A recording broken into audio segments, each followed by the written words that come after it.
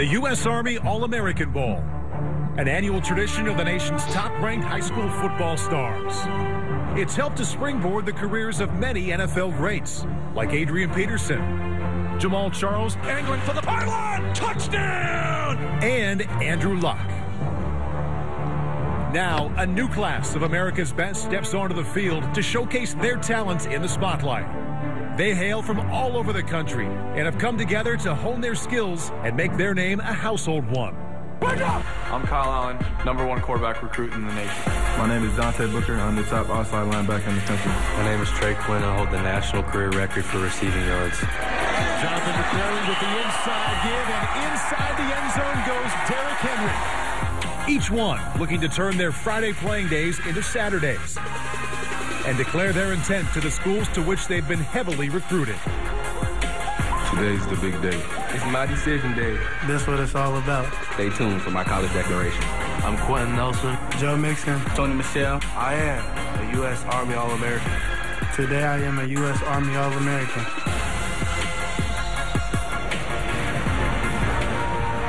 There's a live look inside the Alamodome here in downtown San Antonio. We are moments away from the kickoff of the 15th annual U.S. Army All-American game, the best against best. It's East against West. The action will begin in moments right there on that field. Right now, let's take a sneak peek inside the locker room. You represent me.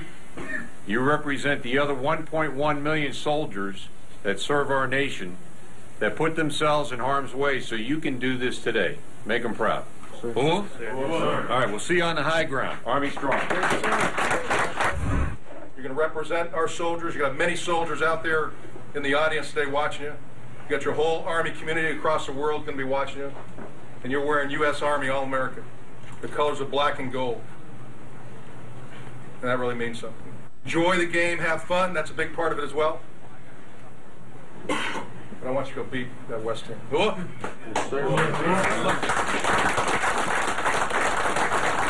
Thank you for being with us. Welcome inside the Alamodome. I'm Paul Burmeister.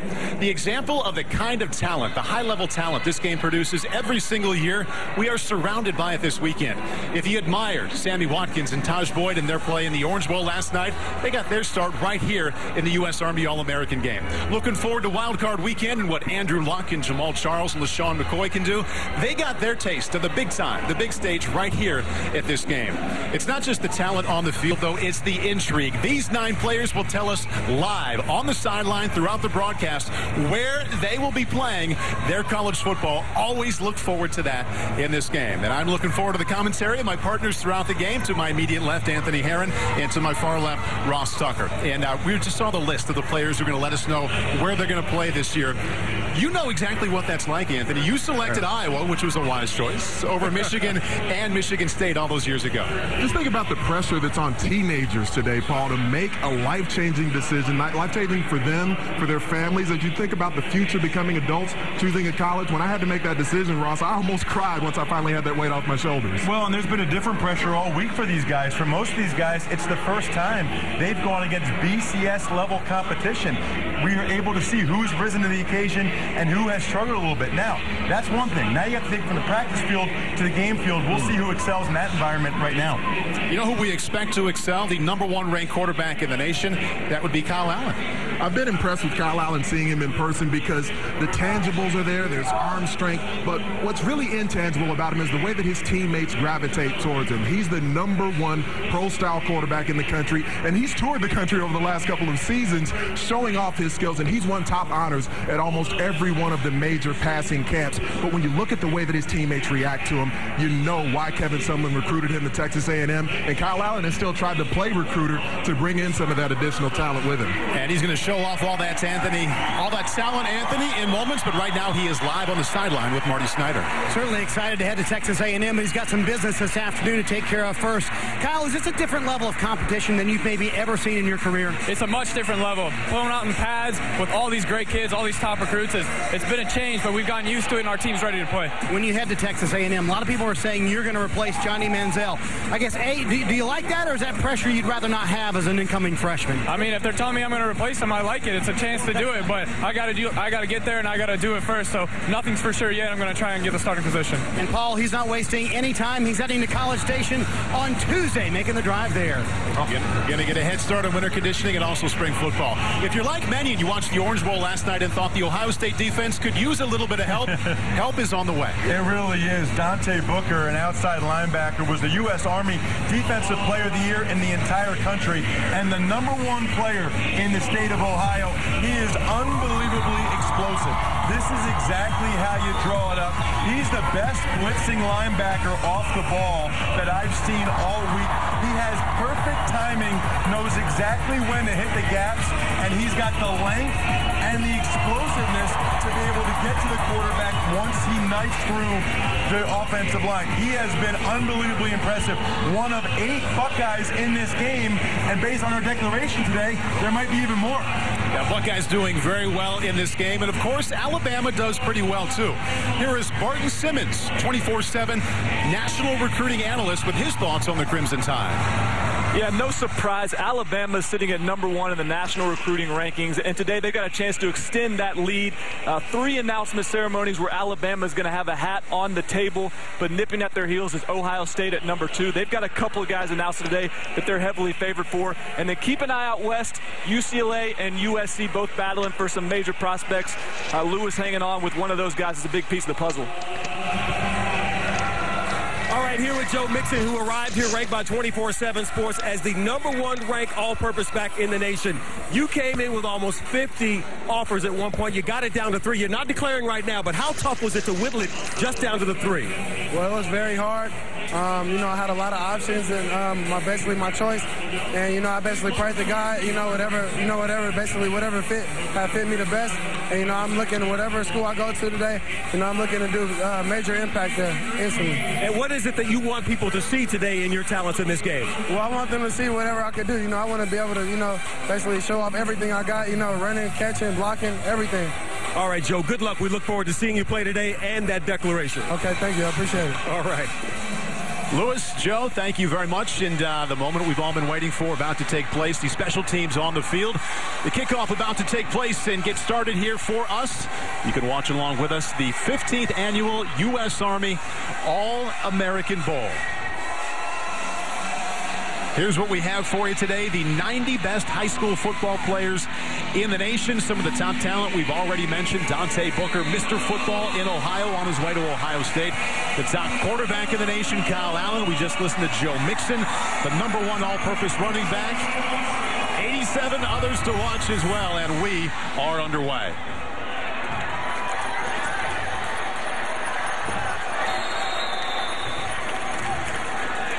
And the rules of this game will play 12-minute quarters. The defense somewhat limited. They cannot blitz. And the defense has to also play in that 4-3 scheme. And some rules also to the special teams. No onside kicks, no matter what the score is, coming up when we get to the fourth quarter. And the starting quarterback for the East Side, Mr. Football in the state of North Carolina, on his way to be a Florida Gator. That's Mr. Will Grier. Check out. Tailback is Sony Michel, but he's in an empty backfield. He dumps it off to Michel. And the future Georgia Bulldog shows he can not only run the ball, but catch it as well. That's one of the things that the Georgia coaches really like about Sony Michel is his versatility, his ability to catch the ball out of the backfield. This guy burst onto the scene as an eighth grader. He had 1,800 yards down at American Heritage High School in eighth grade. That is unbelievable. How many players can you say by the time they were done with ninth grade, they had over 3,500 rushing yards? Will Grier trying to rush the ball as well, but he is brought down just after he crossed the line of scrimmage. The line of scrimmage brought down by Budda Baker, who will be an Oregon Duck next fall. We got to look at the interesting element of Will Grier's game because when you look at multiple recruiting services, some people list him as a pro-style quarterback. Some people actually do list him as a dual-threat guy. I kind of see him in that Colt McCoy sort of mold.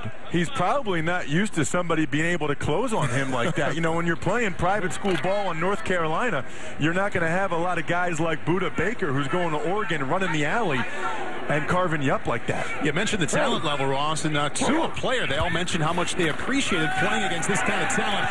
And how about the West front seven? Throwing down Nick Chubb, who will be a Georgia Bulldog next year, and he would like to see some more holes. Didn't see one there. Well, Chubb's good, but he's not this good. You see a great job by Solomon Thomas, number 17, closing the front side. So Chubb had to try to go back to the backside, but there was all kinds of West defenders right there. Usually it's pretty difficult to run the football in all-star games like this. Will Grier taking a break after he led the first series, and hats off to that West defense. Stepping up there on second and third down.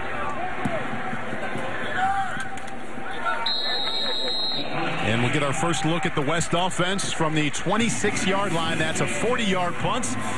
And we're looking forward to seeing the top-ranked quarterback in the nation coming up here before he heads to Texas A&M. You can watch him right here in a matter of moments. Kyle Allen on the field up next. Really like what's happening inside the Alamodome. Temperature always perfect and the talent level always high for the U.S. Army All-American Bowl. The 90 best high school players in the nation putting their talents on the line. And we also look forward to nine of the best announcing their college intentions throughout the game. We look forward to our first declaration here in the first quarter. Speaking of number one, top-ranked quarterback in the nation, Kyle Allen, before he goes to Texas A&M on Tuesday to begin his college career. Starts off the west side. Set, go!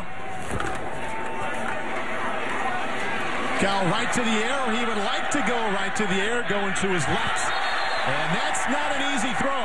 Completes to K.D. Cannon, who will be a Baylor Bear. Athletic play by Kyle Allen to pick up 17. Not an easy throw on the move, rolling left, having to torque those shoulders, get them all the way back around. This is the element I love of Kyle Allen's game because he's as accurate as any quarterback I've seen coming out of high school in the past five years. We saw that feature during the skills challenge they had earlier in the week. His favorite NFL quarterback is Russell Wilson. We saw a little bit of Russell Wilson there. And a little bit of wiggle from Jalen Brown. Going to be an Oregon Duck in showing some skill there, picking up 10. Well, you see this play all the time at every level of football now. Just a quick wide receiver screen. It only works, though, if you get good blocks on the edge, and that's exactly what Jalen Brown got. Kyle Allen uh, following a trend many of the quarterbacks show now, going to campus early. He graduated from high school, going to get a head start on trying to be the man who replaces Johnny Manziel. He's got a pair of big wideouts, and it's six foot six, Frank Inacho, or Iheanacho, pardon me. Iheanacho, he's going to let us know throughout the broadcast where he will go to college. He hauls that one in. I handed to an interesting story because he's a player who really mainly focused on basketball throughout most of his time in high school, just burst onto the scene this year. Iheanacho actually gave up basketball or football his junior year, and giving up the football was Kyle Allen. Never brought it in, and there to scoop it up for the west side, the future South Carolina Gamecock, Bryson Allen Williams. Well, you expect to have some quarterback center exchange issues, but not really out of the shotgun. It was just a little to the right, and then Allen not able to secure the football. Oh. Allen Williams, who's had an unbelievable week, everybody to a man has talked about him. You can see, Kyle Allen mic'd up for us here this afternoon, so we not only get to watch, we get to take a listen to his interaction with his West teammates, and who knows, maybe some interaction with the East side as well. Our first declaration, the first of nine, is coming up next. Stick around and find out where Brian Wallace will attend college after this. Baker, I'm committed to University of Oregon. Hi, my name is Dante Sawyer, and I'm committed to the University of South Carolina. Hi, I'm Trey. You might Brown. I'm committed to Texas. So we know where they're going. We're about to find out where Brian Wallace is going to play his college football. Lewis Johnson has us covered there. And they are big smiles down here. Big Brian Wallace, 6'6", 294 pounds, a big offensive lineman. And he's got three hats out here along with his high school coaches where they racked up over 45 points per game at Christian Brothers High School in St. Louis, Missouri. So, Brian, here we stand with three hats. We've got Alabama, Iowa, and Arkansas. And the question we want to know as we begin this show, where are you going to play your college football? Well, uh, I will be taking my talents to the University of Arkansas. Arkansas Razorbacks. Okay. So we've already heard that a lot of the SEC coaches think that you have a lot of upside. Where are some of the areas you think you can improve as you move to the college game? I would just say my size, my speed, and just more technique. More technique. All right, Dad, you happy about this decision? Yes, yes, sir, I am. All right, I know your mom couldn't be here, but I know she's proud of you as well. Congratulations and good luck at Arkansas. Paul? All right, Bret Bielema trying to turn it around at Arkansas. Good news there already.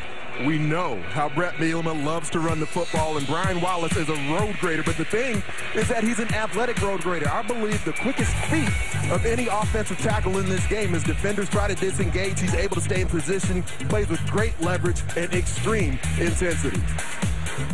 So that's only one out of nine. Eight more live in-game declarations on the way here in the U.S. Army All-American Bowl. Also have some pretty good action on the field after a fumble recovery.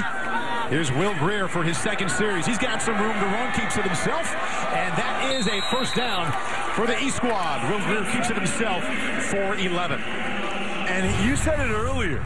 Anthony, about his athleticism. He's sneakily athletic. You know, they don't run a lot of read option, but he can scramble and make plays with his feet. This is a guy that was able to dunk in seventh grade at six foot one, which tells you a little bit about his explosiveness and athletic ability. And you know what? The way Florida played this year, he might need to use that athleticism if he gets a chance to get on the field next year.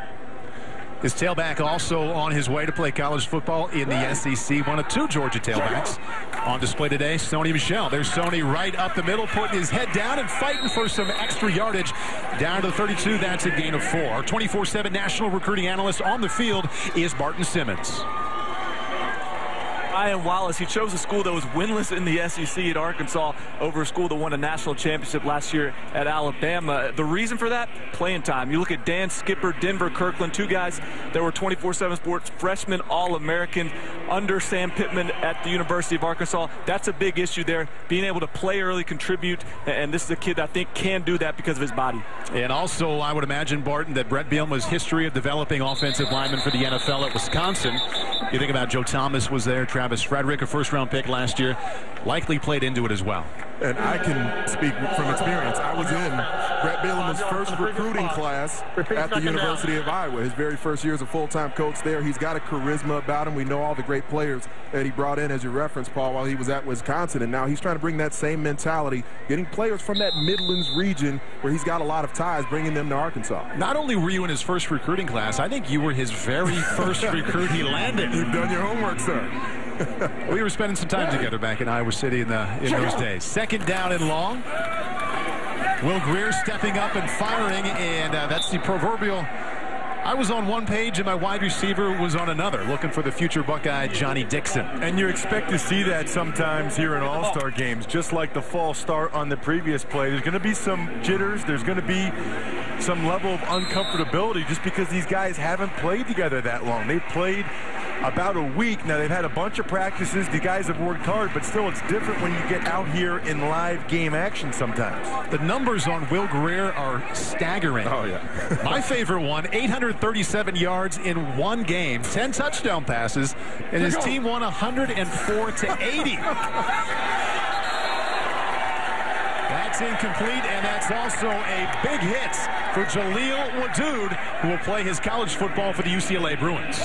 We know Jim Mora loves defensive backs, and he loves them to play with physicality, and especially with Wadood going to UCLA, we know the spread offenses that are there in the Pac-12 conference, and so you have to be able to tackle nowadays as a corner, Ross, and it's becoming more prevalent where guys can not only cover but be physical. Well, and you talked to some of the people this week, and they said Jaleel Wadood was really one of two defenders for the West squad that stood out to him during the week of practice.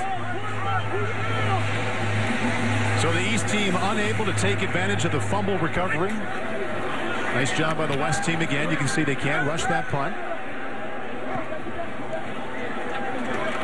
And the West, West squad will begin with more than 90 yards to go. So hopefully they think the game's first touchdown. Can you imagine NFL Hall of Famer Anthony Munoz as a veterinarian? Well, neither could he until he used the Army's new strength match tool. If Hall of Famer Anthony Munoz hadn't played football, the strengths that made him a star could have led him in another direction in the U.S. Army. Sergeant, I have to say, when I saw the uh, results of my strength match here, I was very surprised. There's a variety of jobs in the Army firefighter, explosive ordnance disposal, and then a veterinarian. Right. You know, most people, you know, when they think the Army, they think, uh, oh, the infantry or, or, or, a combat job like that. When actually, that's a very small portion of the Army. There's a ton of different jobs that you get selected from. Sergeant, thank you for your insights. All right, thank you. Also, a good time to remind you, you can watch uh, both NFL wildcard weekend games today, later on NBC. Immediately following us, we go to Indianapolis for the Chiefs and the Colts. And right after that, also on NBC, it is the Saints and the Eagles. This is the top-ranked quarterback of the nation, Kyle Allen. Flipping it out to one of his tall receivers, Frank Iheanacho. He's 6'6". He also has Mark Roberts, number 81, who is 6'6". Iheanacho picks up four. What impresses me about the game of Frank Iheanacho is the fact that he looks comfortable as a wide receiver. A lot of times you see people transition from track or basketball and they try to become football players, but it doesn't quite look fluid. It doesn't quite look confident, but Iheanacho is a guy who looks like a natural wide receiver. With the ball, a name you're going to recognize going down to the backfield. Nice job by the East defense for a loss there, but that's Christian McCaffrey. His father, Ed, played football at Stanford, just like Christian is going to do before he went on to an excellent NFL career with the Denver Broncos. But it's not just his father, Ed, who was an athlete at Stanford. His mother played soccer there as well. I talked about Joe Mixon being the top all-purpose back in the country, but overall, from a productivity standpoint, Christian McCaffrey has probably been the guy who's been most productive during the week. There you see his grandfather, who in 1960 was the fastest man in the world. Kyle Allen underthrows there to Jalen Brown. And there to make the play for the east side, Bryson Allen Williams. Linebacker on his way to South Carolina. So far, yeah, you really have to be impressed by the poise that Allen has showed. I mean, even under duress, he didn't get as much on that football as he wanted to, but he's impressed me all week just with his poise. He is one cool customer. I stand corrected. Jalen Brown made the play there. Picking up the first down for the west side. Kyle Allen keeping it himself. His tailback now is Royce Freeman. Christian McCaffrey steps out of the game. Allen did run the read option a little bit in high school, but he said when they read it, they were pulling the ball to throw. He very rarely ran the ball at Desert Mountain High School. And he also told us, I thought it was interesting, that, you know, A&M wasn't really as much on the radar until the success they had the last two years with Johnny football in the SEC. It's just a good example of one program-changing recruit like Manziel can lead to more like Allen. Go. Kyle Allen now on second down and nine. Nice pocket to step into. Delivers the ball a little bit low, but once again, Jalen Brown, that's two times on this drive. He's gone down to catch a ball. That time for 10 and another West team first down. Where Kyle Allen is beyond his years as a passer is the places he can locate the football. That was completely on purpose. He knew I had to throw it towards the sideline, low and away, because there's a defender in a trail position who can potentially make a play. The level of accuracy that he has is definitely beyond his years. Nice of you to mention accuracy, Anthony, because he's six for six. Go! 100%, not a bad way to start. Go ahead and make that seven for seven. The first catch from Mark Andrews, who will be an Oklahoma Sooner. And he is cut down right away. Number 22 is Erick Smith. Well, and if you're not sure who makes the play at corner for the East, just say the Glenville guy. Because you see Erick Smith right there. Marshon Lattimore, his teammate from Glenville, plays much the same way. Both of them will be declaring today. Teammates at Glenville High School. We'll see if they stay teammates at the next level. Yeah, a lot of people expecting they'll be Ohio State Buckeyes. Ohio State already has eight players playing in this game. And Glenville's certainly a pipeline. Number 18 with the reception is Trey Quinn. He is only the all-time receiving leader in the nation. He'll take his talents to LSU in the fall.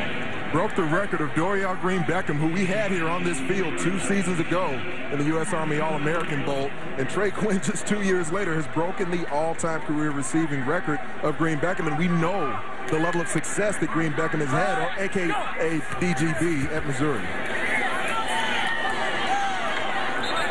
Running the ball for the first time, that's Nathan Starks out of Cherry Creek High School, just outside of Denver.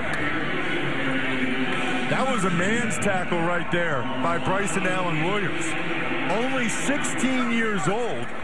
He's been one of the most impressive guys all week. He's from Georgia, but he's going to South Carolina. Every coach I spoke to this week and watching him with my own eyes, I've been unbelievably impressed with his athleticism. Again, only 16 years old, flying around making plays. First down off the play action. Kyle Allen wants to throw back to his tailback. He throws that one into coverage. There is his first incompletion. He had completed his first eight passes.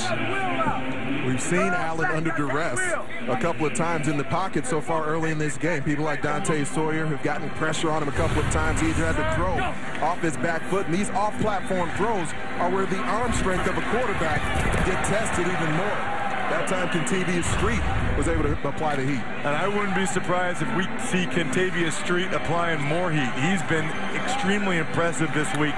The guy squats 655 pounds. His lower body power is out of control.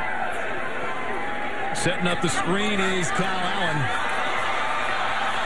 And that's Joe Mixon. He will announce his college intention later on today. What you need to know right now, that's the number one all-purpose back in the nation. Keep in mind that Joe Mixon is six foot two. So as a tailback, that's a little tall for what you're looking for. But you know about the versatility he has because he's still so elusive. He can drop his weight. He can apply weight to both thighs and still be able to make quick, elusive moves, evading defenders in space tweeted his final schools in early December. UCLA, Oklahoma, Wisconsin, and Cal. Cal has since been eliminated. He'll let you know later today if he'll be a Bruin, a Badger, or a Sooner. Kyle Allen. Fires that one incomplete, looking for his favorite receiver so far, Jalen Brown. And broken up by a man we've discussed already, number 22, Erick Smith from Cleveland. He'll announce his college intentions later in the game. Boy, they know how to make defensive backs at Glenville, don't they? yeah. I mean, Donte Whitner, Christian Bryant, who plays for the Buckeyes right now. He was injured this year. It just seems like every year there's one or two. And this year, both the corners for the East, at least two of the guys that will see a lot of playing time today, are the Glenville duo. Play action to Joe Mixon and Kyle Allen flushed out and just fires that one away. Nice job by the east side with that pass rush in is Jalyn Holmes. No surprise on where he's going, Ohio State. Yeah, he's going to Ohio State as well. He's one of the most physically imposing guys here. They ran a stunt, and Travonte Valentine came around. Allen did well really just to get rid of the ball, and that's what Kyle told us. He said the biggest adjustment for him this week has been throwing with big guys in his face. He's used to going against top-notch defensive backs from the 7-on-7 series, but this is the first time he's had big guys right up in his grill. Go! Got to get down inside the two-yard line or the end zone. And looking to the end zone, but falling incomplete. Markel Pack, the future Florida State Seminole, couldn't come down with that one. That's a route that Kyle Allen throws with a lot of efficiency normally, being able to locate the football towards that back pylon, that back corner, throwing a fade route, a corner route, being able to locate it away from defenders.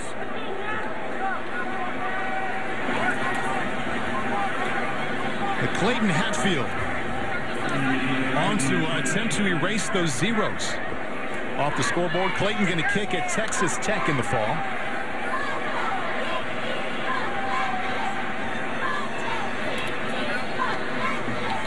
And this is an attempt from, we expect for it to be an attempt from 28 yards away.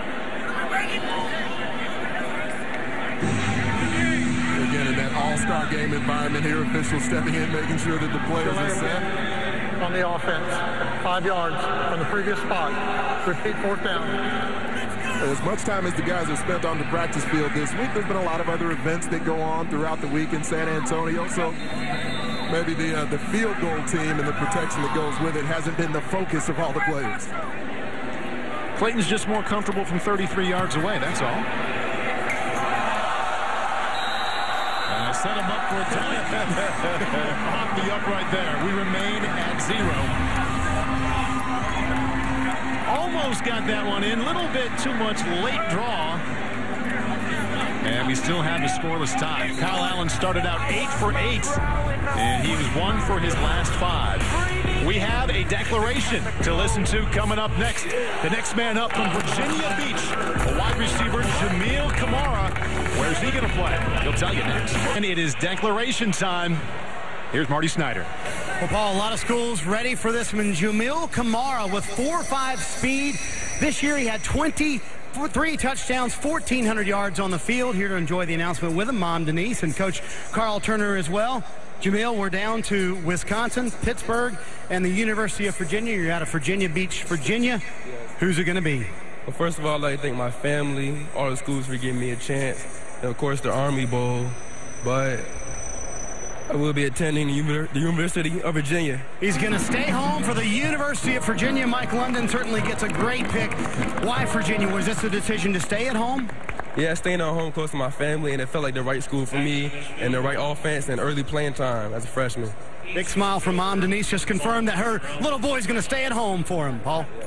And Marty, I'm sure mom likes the three-hour drive from Virginia Beach to Charlottesville. Very doable. And uh, he will be a Virginia Cavalier. His sense of excitement and relief with that decision out of the way, isn't it? Without a doubt. I mean, as I mentioned in the open, it, it, going through this as a recruit, it really puts you in a position where you can take that weight off your shoulders finally. We have zeros on the scoreboard, and the East team back on. Elijah Hood, the new tailback. And we also have a new quarterback, Jacob Park. Dead ball. False start on the offense. Five yards on the previous spot. Repeat first and there is the next Virginia Cavalier, Jamil Kamara, basking in his moment here at the U.S. Army All-American Bowl. Obviously a tough year for the Virginia Cavaliers. They could use him. And my guess is he'll have the opportunity to play right away as a freshman.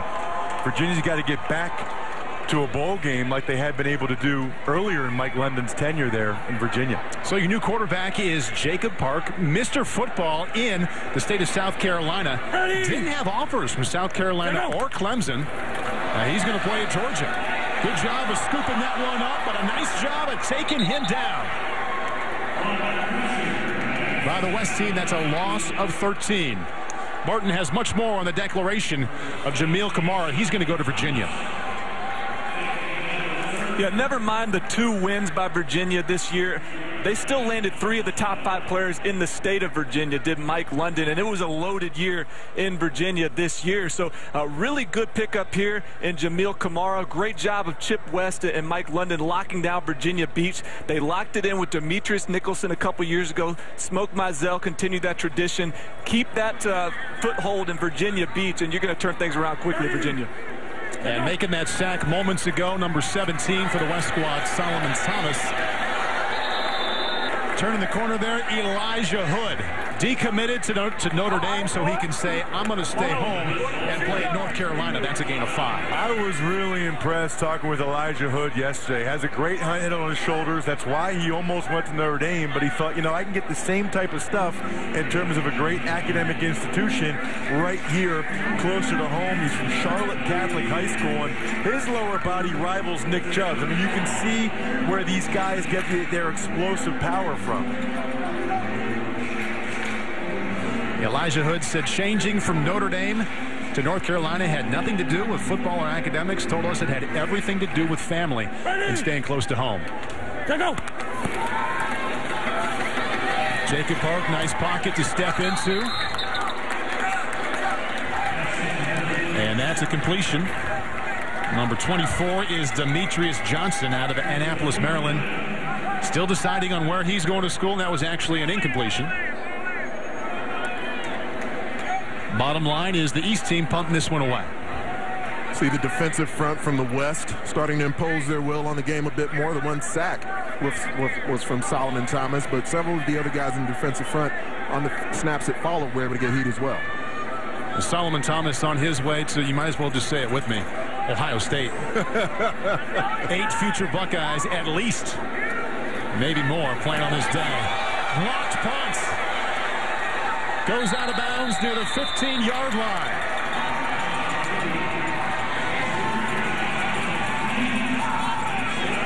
Celebrating there, Dwight Williams, who's going to announce his college intention later today. It's really tough to do special teams here in all-star games because a lot of these guys aren't used to playing special team and you don't get a whole lot of practice time. And I mentioned Dwight's going to let us know throughout the broadcast uh, where he's going to play his college football. It's actually going to come up here in moments. Out of the powerful Serra High School near Los Angeles.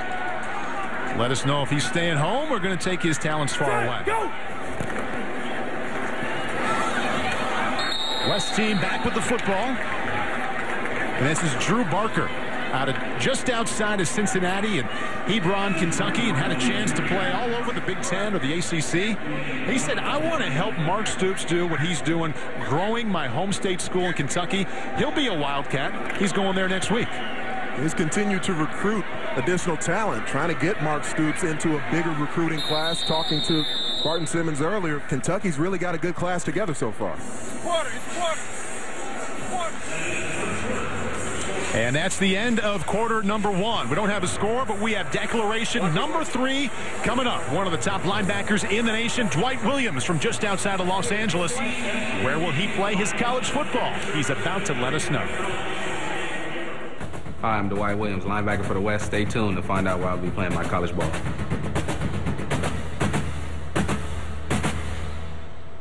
Inside the Alamodome, we have two declarations in the books. Our next one is that man right there, Dwight Williams. He's on the sideline right now with our Lewis Johnson. All right, Paul, thanks very much. Well, there has been some major secrecy with this declaration for Dwight, his family here, now waiting to see exactly what this young linebacker is going to do. Dwight, the hat shuffle has been amazing. You have a lot of offers, but now we've got it down to five. This is amazing. So we have Oklahoma, Clemson, Florida, LSU, and UCLA. So everybody would like to know where are you going to play your college football? Uh, first, I'd like to thank God for blessing me with this talent and each of these institutions right here for giving me a chance to play football. Very nice. Uh, for the next four years, I'll be getting my education at the University of California, Los Angeles. UCLA. Very interesting because at one point they seemed to be off the radar. Was this sort of the way to keep it quiet for yourself and for the for the school? Oh yes, definitely. That was the way to keep it quiet because you know in this day and age with the social media, it's kind of hard to keep stuff secret. Now you are now called an LB, a linebacker, but I also understand you want to be called at one point a JD, as in Juris Doctorate. Is that part of your decision? Yes, sir. All right. UCLA has a great law program and I can't wait to get into it. Look at that smile on your mom's face. I think you made her happy as well. Dwight, congratulations. Good luck with the Bruins. Paul? Bruins with a big Sun Bowl victory over Virginia Tech and a victory here as we start the second quarter. Well, Dwight Williams is 6'1". He's just a shade over 200 pounds, so people feel like there's potential for him to even move to safety at the next level. But I like him at linebacker, and even I like him at Mike linebacker because he's got a frame where he could add maybe 15, 20 pounds. And I believe at the next level, with the way he can get sideline to sideline and the way that he tackles people, constantly bringing folks down out in space, and ball skills that he has within the box, I think he could be a guy who plays an excellent Mike in the Pac-12. He's going to get some excellent teaching there at UCLA. The linebacker coach, Jeff Ulbrich, recently played 10 years in the National Football League for the Niners, so a lot of positives for Dwight Williams in his future as a Bruin. Drew Barker, the quarterback for the West Side, and down he goes. Stepping up and making the play for the East Side, Dante Sawyer. He'll be a Gamecock next fall. Yeah, he's one of a couple of Georgia high school products that are going to South Carolina. You see the speed he had around the edge right there. And a lot of times for these offensive linemen, this is the first time they've really pass protected at this level. They're not used to going against defensive linemen with the speed of a guy like Sawyer. Go! Tailback for the west side, Royce Freeman. Drew Barker rolling out to the right. And a nice job of locating his man down at the five-yard line. Drew Barker to pack. First down, west side. Let's check in with Barton Simmons on the sideline. Hey guys, George Farmer, Marquise Lee, Robert Woods, all guys that came from Serra, where Dwight Williams plays his high school ball, all guys that went to USC. So as big as this is for US, UCLA to land Dwight Williams, it's also really important to get into that Serra program, stop that Trojan pipeline and turn things around. A lot of those guys that Barton mentioned, offensive players. That Winnipeg set a program out west. I mean, in California, they've had historically some of the best running backs and receivers that have come out of there.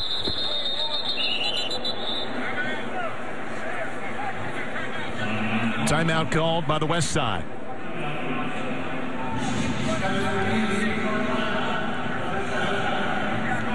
Dwight Williams just let us all know he'll play his college football at UCLA. That was our third declaration of the afternoon. We have six left. Go ahead and smile with him, Bruin fans. He's coming to UCLA soon. Inside the Alamodome. And just moments ago, Dwight Williams, linebacker from Serra High School just outside of Los Angeles, let us all know that he will be a UCLA Bruin. Three declarations down. We have six more to go. We also have a new quarterback, Jerrod Heard, in for the west side. Jerrod dancing around the right side. And he's run out of bounds. And uh, it's an interesting week for Jerrod Heard. He committed to Texas after his sophomore season, went on to lead his high school team in Denton, Texas, that's Guyer High School, to back-to-back state championship teams. But now that Mack Brown is out, and uh, a lot of speculation, Charlie Strong is going to be the guy. He has uh, opened it back up. He's going to wait and see what the next Texas coach is like before he commits to Texas for sure. Number 17, that's Solomon Thomas, defensive lineman out of Coppell, Texas. Earlier, I said he was on his way to Ohio State. That's not correct. He has changed his mind. He's opened it back up. He's going to visit Stanford. I know Arkansas has a real chance to land him as well. So Solomon Thomas, talented young man, quality young man, not on his way to Ohio State. Could end up a Buckeye, but the bottom line, it's still open for Solomon. And he was one of the most impressive kids I spoke with all week. I mean, he he talks like he's already a junior in college or a rookie in the NFL. He's one of the kids that really sees the big picture, which is a big reason why Stanford is one of the schools on his list. Drew Barker remains the quarterback for the West Side. Set, go! And that's Royce Freeman. Awarded the top player in San Diego this past fall. He scores the first touchdown. Freeman will be an Oregon Duck this next fall. And you see why, because he can bring the thunder into the backfield that Oregon hasn't had as much in recent years. Known as a dual threat guy, but he weighs 225 pounds, so that first threat he can bring is power. He got hit there by Nick Ruffin at about the three and a half yard line and was able to power through. And I like the presence of mind to reach the ball over the goal line like that. Clayton Hatfield up and in to make it seven to nothing. West Side. Royce Freeman awarded the Silver Pigskin Award as the outstanding player in San Diego this fall. Scored 41 touchdowns there. Has one touchdown today. Erick Smith out of Cleveland. Where's he going to play his college football? His declaration is next here inside the Alamodome. Still life, baby. All day.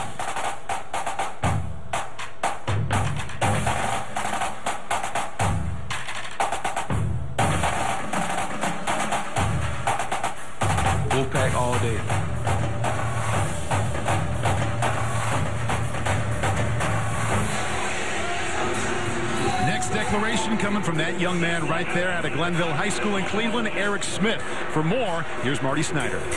And Paul, he is the first half of the Glenville High School out of Cleveland defensive backfield players that will declare today. You cannot question his speed, 4-4 in the 40. Also his classroom work, 3-0 in the classroom for the GPA as well. Dad Curtis is here and happy to have Ted Ginn Sr. here. He's been a coach long time at uh, the high school. So we're down to these schools. We got Georgia Tech, Kentucky, Michigan, Ohio State, and Alabama. Erick, who's it going to be? Uh, first off, I want to thank God for blessing me with the talent just to be here. And uh, coaching staff, Coach Ginn, Coach Shin, uh, Drews, Petty, and my father because they supported me through everything. And I'll further my education at the University of Ohio State. Ohio State and a lot of guys over here from your team are cheering that that are Buckeyes currently. Erick, you almost didn't declare this week. Why did you decide and what was the hesitation? Just, me and Marshon talk. You know, that's my guy. And we always had a dream of playing together. And better to do it at home than anywhere else. Well, we'll see if Marshon declares for Ohio State later on. Paul, a huge pickup for Urban Meyer, who needs a little good news after last night, right? I would say so. Not just last night, but watching the Buckeye defense uh, against Michigan and against Michigan State. A lot of talent there, but also a chance to play right away. Well, he will, and that's because defensively they really struggled. You heard Urban Meyer after the game last night say we are not a top 10 defense. That's what we expect to have at Ohio State, and that's now the ninth guy playing in today's game that will be a future Buckeye. Myles Autry bringing it out and going down at the 16-yard line. Nice special teams there. Play by Nathan Starks, running back out of just outside of Denver. Erick Smith made a bunch of plays on offense for Glenville, but he's probably going to play defense at Ohio State. You see there, able to get the ball and run down the sideline. I like his physicality. I mean, taking on a block right there and still making the play, that is not easy for a high school cornerback to do. You've already seen his physicality at times during the game today. Just think about how suffocating that defense must have been with Erick Smith and Marshon Lattimore on the back end. And both guys, you referenced Smith being an offensive player, Lattimore, big two-way target as well. Quarterback for the East, East Side is Jacob Park. And with a gain of five, that's the future Bulldogs, Sony Michel. Let's check in with Barton on the sideline. We'll talk about a pipeline program. We talked about it a lot today, but Cleveland Glenville has sent a player to Ohio State, at least one, every year since 2002. That was Troy Smith in 2002. Uh, so this is a strong pipeline program that had a lot of success there. Erick Smith, I think, could actually play cornerback. Played a lot of cornerback this week, has that kind of ability, and this commitment keeps Ohio State at that number two spot in the 24-7 Sports national rankings. And one of the future Buckeyes uh, in this game playing wide out to the far left of Park, number four, is Johnnie Dixon. Park has his first completion, and it is two. Johnnie Dixon. What an unbelievable get Dixon was for Urban Meyer in Ohio State. He's down there in West Palm Beach at Dwyer High School, absolutely lit up national power St. Thomas Aquinas in the postseason, which is how Dwyer was able to get to the state championship game and win it down in Florida. But that says a lot for Urban Meyer and that Ohio State staff to get a guy like Dwyer from West Palm Beach to go up to Columbus. Who selected Ohio State over Alabama and Miami. And ever since his visit to Columbus in November, been carrying around a Buckeye in his pocket. So no, no real surprise that he liked it Ohio State. Jacob Park kept it himself.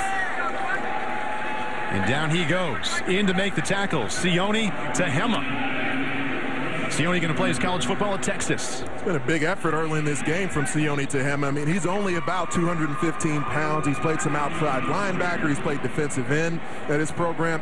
And in a similar mold of Jerrod Heard, who was in at quarterback earlier in the game. Now that the coaching situation was in flux, but Charlie Strong rumored to be getting the job for Texas, what does that mean for some of these Longhorns recruits? Tennessee also has four future volunteers playing in this game. They had an excellent recruiting class. Number 88 to the right is Josh Malone. Jacob Park looking in the direction of Johnnie Dixon. Nice job of avoiding pressure. But that falls incomplete. Park has a very strong arm. I find him to be about as interesting of a recruit as we have in the game. Here's a guy from South Carolina that was not offered by either Clemson or the Gamecocks yet. Alabama and Georgia wanted him, and he chose Mark Richt and the chance to follow in Aaron Murray's footsteps over Alabama. But he's got a big arm. You know, really didn't realize how talented he was until recently. Wasn't even planning to play college football until he burst on the scene last summer in a major way. His process evolved to Georgia. Auburn was the early favorite. Then he switched to Virginia Tech for a while. Delay of game. Offense. five yards from the previous spot. Repeat the down. Uh, once he got the offers from Alabama and Georgia, became a two-horse race. And he actually went to Athens two summers ago, went to camp for Mark Richt and wanted that offer, thought he was going to get it. It didn't come. So he waited a year, went back to camp. At that camp, Mark Richt offered him a scholarship, and less than a week later, he said, yes, I will be a Georgia Bulldog.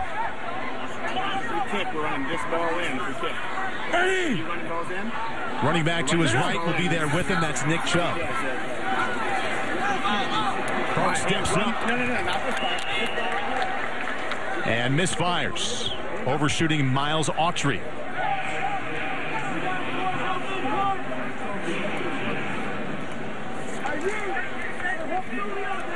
Coverage there provided by Clifton Garrett, the linebacker out of Plainfield South High School. He remains undecided, but he's the number one linebacker in the nation.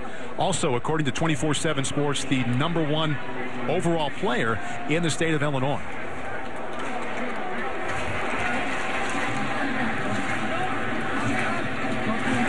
Back to punt for the east side. That's Corbin Daly. He'll play at Texas.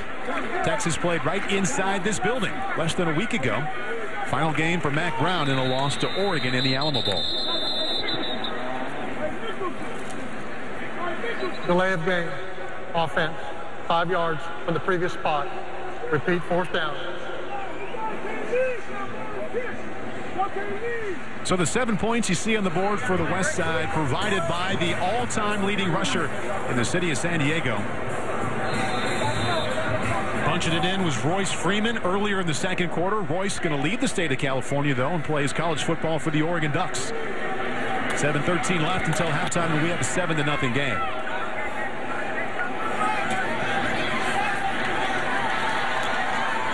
And that's K.D. Cannon, who will play wide receiver for the Baylor Bears for the next four years. Declarations, big part of this game. The Ohio State Buckeyes, also a big part of this game. Erick Smith smiling, smiling. He'll go from Cleveland to Columbus in the fall. The Ohio State University. Oh, hey, all right. Oh, smile like a In the field and the hospital, First Lieutenant Rudy Garza blends two worlds to serve patients and save lives. I'm an officer for the United States Army Reserve. I'm also uh, elite uh, CT technologist. It really is fun being able to coordinate care between various departments. You want to make sure that everything's running smoothly for the team and, and most importantly for the patient. Members of the United States Army Reserve are easily identifiable. We have a work ethic that is unmatched. It's going to be hard to find another hospital administrator with the type of experience that I've had. It is the U.S. Army All-American Bowl. For a reason, we always enjoy our interaction with members of the Army staff throughout the lead up to kickoff here. Quarterback Drew Barker on his way to Kentucky. Set, go!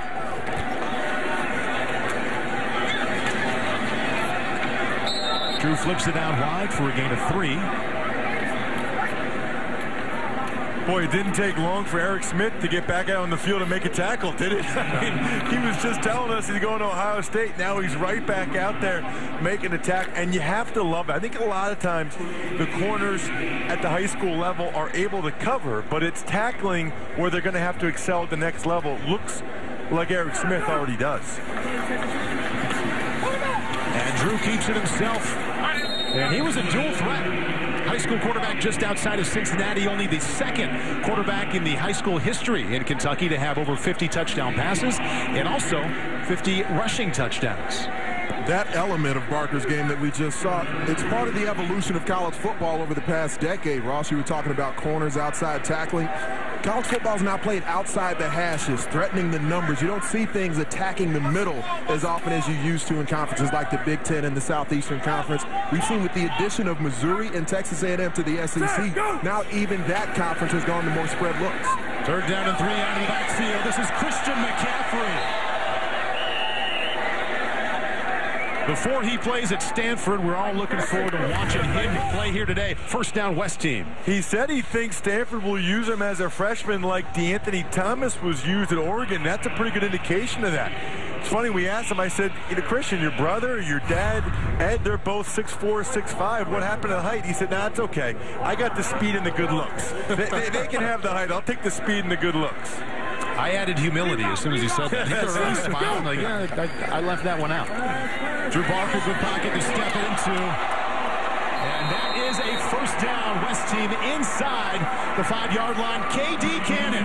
You've got Josh Gordon, number one receiver in the NFL out of Baylor. You can understand why talented wideouts want to go to Waco. You also understand why a number of schools are still trying to see if they can recruit KD Cannon and get him away from the Baylor Bears because we know what Baylor's done on the offensive side of the football, turning into one of the preeminent scoring teams in FBS football. And KD Cannon is just going to be in the next line of receiving threat. You also have Josh Gordon, who I mentioned, number one in the NFL receiving yards to go along with Terrance Williams with the Cowboys, and that's another touchdown for the West team. Joe Mixon, number one all-purpose back in the nation.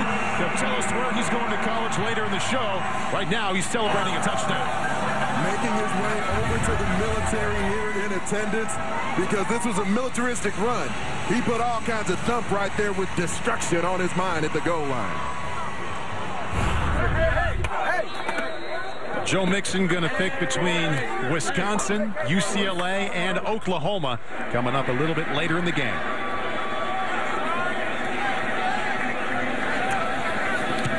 Clayton Hatfield two for two extra points. And the West running backs finding the end zone. First it's Royce Freeman and now Joe Mixon, both from the state of California. Joe about to let us know here if he's going to stay in California to play his college football. Two rushing touchdowns for the West team, and it's 14 to nothing inside the Alamodome. Saw Joe Mixon score the second touchdown of the day for the West team. Right now he's on the sideline with our Lewis Johnson. And I don't know if anybody's having more fun at this game than Joe Mixon. You've got a big smile on your face, but let's go back and look at the screenplays earlier. And ultimately you led to the touchdown here inside the Alamodome. What are you seeing as you get the ball and, and begin to scan the field and, and make your way down the field? Well, pretty much, you know, started in practice. And, but, you know, right here, you know, I just read my blocker, got the catch, you know, did the mechanics. You know, after this, you just have to finish the run, make the cut you know, just finish strong. All right, now take us to the touchdown. Well, the touchdown, you know, I just ran my block. You know, Damien Mama told me to follow him. You know, I got right behind him, and he led me to the score. And, and you weren't done, were you? Oh, no, never. Can't be done. Let me too. How great is it to spend some time here and give these guys, these soldiers, some uh, some cheer as well? Well, it means a lot because you know they fight they fight their lives off every day for us, and you know all I came to do out here, you know, was to put on for Oakland, California, Freedom High. You know, my coach's family back home, and you know, basically put on for the soldiers. All right, Joe, great stuff. Back to the game, huh? Thank you. Okay, Paul. And Lewis, he's going to let us know a little bit later in the game if he's going to take those talents from Freedom High to Westwood, to Norman, or to Madison. His declaration is coming up. This is Sony Michel. We know he'll be a tailback at the University of Georgia. And he's brought down to the 26-yard line. Michel's really a great story bouncing back from a torn ACL in 10th grade. You know, a lot of times that can ruin a recruit's prospects, but he'd already done so much in 8th and 9th grade that he was already a top prospect. Came back as a junior and had a decent year, but not as good as his freshman and sophomore years. It took him all the way till this season to get back to his 8th and 9th grade form. I can't even believe I'm saying that, by the way. 8th and 9th grade form. Uh, 8th grade. Caleb Henderson is the new quarterback. Sony Michel is the tailback. Dead ball. Ball start on the offense. Five-yard penalty. Repeat first down. For more on Sony Michel, here's our own Marty Snyder. Well, of course, going to Georgia to play a little football, but his music career is what he loves to do in his off time. He's been rapping for three years. He's become quite popular. He's actually had a few paying gigs to go play at schools and a couple of different things, and he's got some videos on YouTube as well. He calls himself Two Stacks with AZ. I asked him what that meant. He says, because I want to get 2,000 yards in one season, and he gets a pass right there. He said, I want to rush for 2,000 yards in one season, but football is certainly more important to me, and he's doing all of that while carrying a 3.85 GPA. That's pretty impressive, and he's almost as busy as you are, Paul. well, he had a hard time getting back to the line of scrimmage there, but uh, what an unbelievable high school career. Eighth and ninth grade, sat out 10th with a torn ACL. Then his junior and senior year, over 6,600 career rushing yards and also 81 touchdowns. Yeah. And his, his head coach, Mike Rumph, is actually here, and he's one of the coaches on the secondary for the East squad.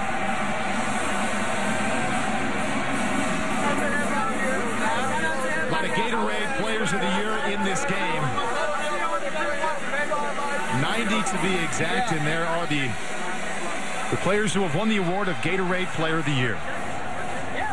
Sony Michel out of Florida, the man we've been talking about. And as you would imagine, he had offers from Miami, from Florida State, also from Florida. Actually admitted that he grew up a diehard Canes fan, but just something felt right about going to Georgia. They've got a great atmosphere there in Athens under Mark Richt and the level of talent. We touched on it earlier. Players haven't been afraid to go there and continue to compete, wanting to get that playing time because they do a great job spreading the football around, especially at the running back position, getting folks a lot of carries. Caleb Henderson wants to throw it for the first time under all kinds of pressure in the backfield and finally brought down by Kenny Young, linebacker out of Curtis High School in River Ridge, Louisiana.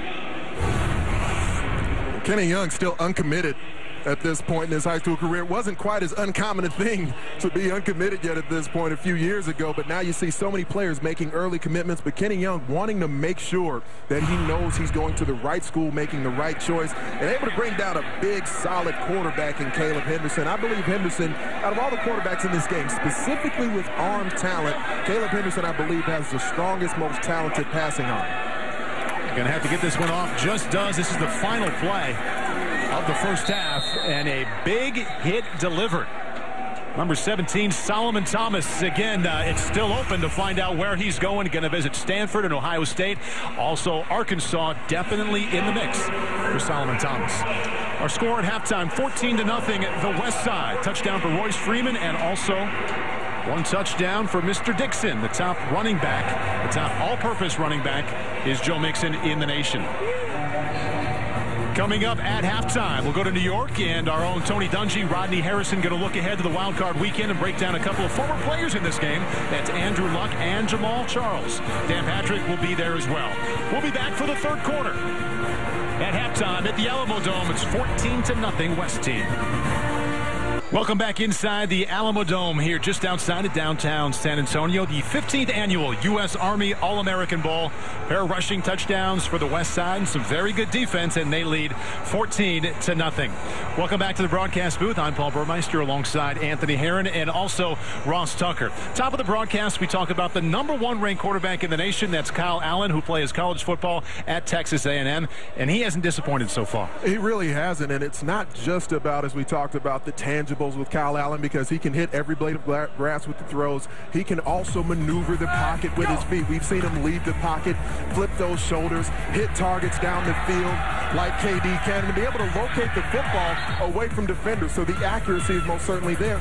But it's the moxie that you really got to love about Kyle Allen and all the different players that are in this game competing on this stage, Ross. Yeah, I mean, so far, he's clearly been the quarterback that's been in the most control and been the most productive. There's a reason why he's the number one ranked pro-style quarterback in the country. What a great get for Texas A&M. Yeah. Right on the heels of having Johnny Football. Unbelievable. And the reason this is always a, a, great three hours for us, the talent on the field like Kyle Allen, yes, it's always fun to see. But we also have the intrigue of the declarations throughout the game. We've already had a handful, and we're looking forward to a number of others. And uh, who are you most looking forward to? We have five left uh, here, and where or which campus he's heading to. I'm excited to hear Bryce Dixon because the tight end position at the collegiate level, at the next level in the pros, has turned into that hybrid spot that you get so much out of them. Inline blockers, H-backs, slot receivers. So Bryce Dixon, I think, is a guy I'm excited to see. Well, for me, it's Joe Mixon. I mean, we've already seen his talents on display out there today. The number one ranked all-purpose back in the country. He reminds me a little bit of Adrian Peterson. He's number 28. Really impressive. Football declarations, five more left to come in the second half. Marty Snyder on the sideline right now thinking about an ROTC declaration. And Paul, it is time for the U.S. Army All-American Bowl ROTC Scholarship presentation. Colin Campbell from right here in San Antonio is going to pick where he's going to go to school from Alabama, Colorado, and Oregon. Then Major General Jeffrey Smith will present a check for a scholarship worth up to $150,000. Mom Lori's sisters are here as well. Colin, which school are you going to go to? I'm going to go to Boulder. Colorado. Going to go to Boulder, Colorado, and at Colorado, he's going to study civil engineering. Major General Smith, you can present him with a check for $150,000. He gets to go to school for free, Paul. It's not, not a bad thing.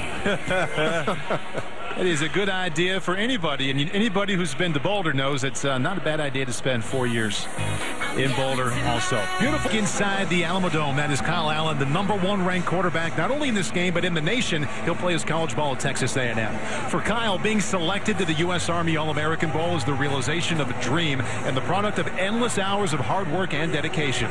But none of that would be possible without his family, his coaches, and his friends who served to protect his dream along the way. I just love the competition of football. Put a lot of team effort into it, and that's what I like is the team camaraderie.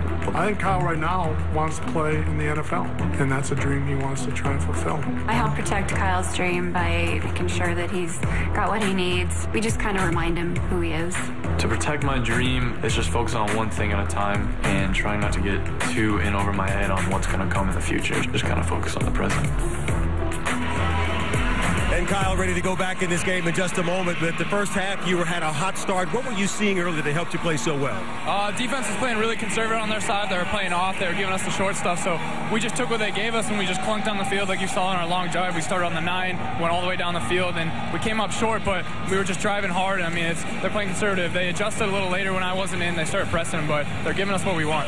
Speaking of adjustments, how much extra nose talk is going on at halftime of an All-Star game like this? You know, there's not much. You practice all week week. You know what you're supposed to do. Stick to the plan. You know, not much, and we're up 14-0. So little adjustments and stuff, but we're doing fine. All right, Kyle. Thanks. Thank you. Paul, here we go again. Kyle started hot in this game, eight out of eight for 88 yards, but then cooled down a bit. Since then, he is just one out of five. Number 32 for the West Side, back deep to receive the kickoff. Budda Baker, one of the best all-around athletes in this game. To many, he's the top recruit in the state of Washington, but he will play his college football at Oregon. And here's Baker looking for a crease to show off that speed. And he gets out to the 37-yard line.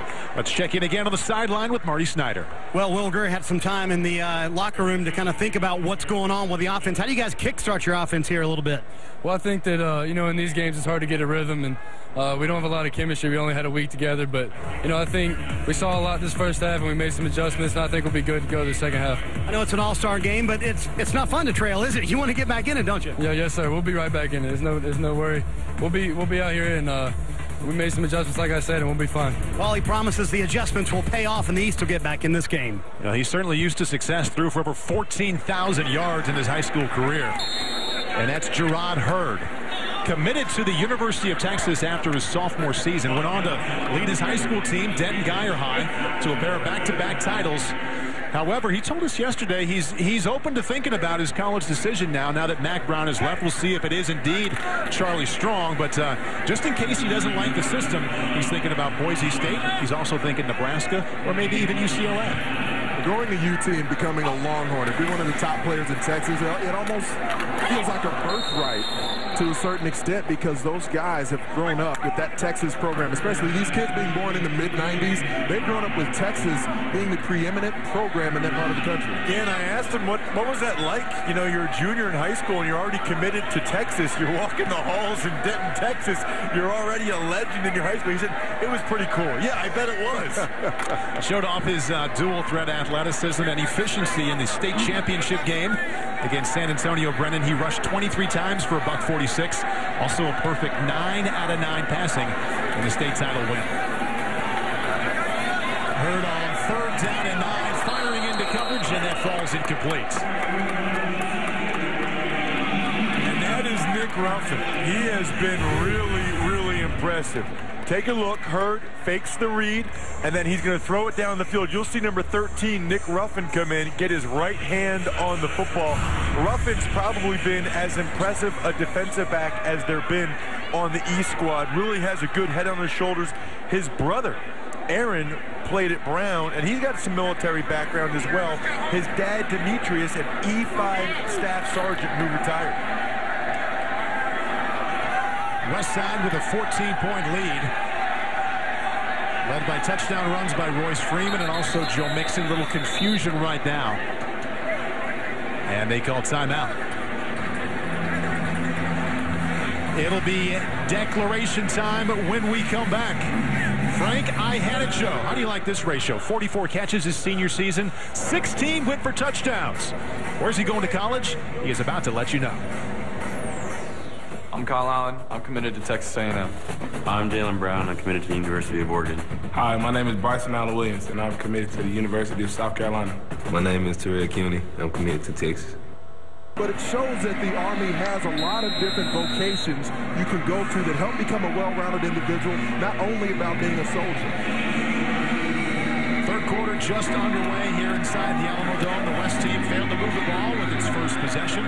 They're putting away. This is Chris Lammons. He's got some room around the left side. Well down at the 18-yard line. Time for another declaration. Our Lewis Johnson has you covered there. All right, thanks very much. Frank Iheanacho here has a huge crowd, family coaches here ready to support this young man. Predominantly known as a basketball player, but came back to the game of football as a senior without one scholarship offer. But as the season ended after 17 touchdowns, multiple offers now whittled down to three. And so, Frank, everybody wants to know, is it going to be Oregon, LSU, or Texas A&M? Look at Mom with that big smile. Here's the moment.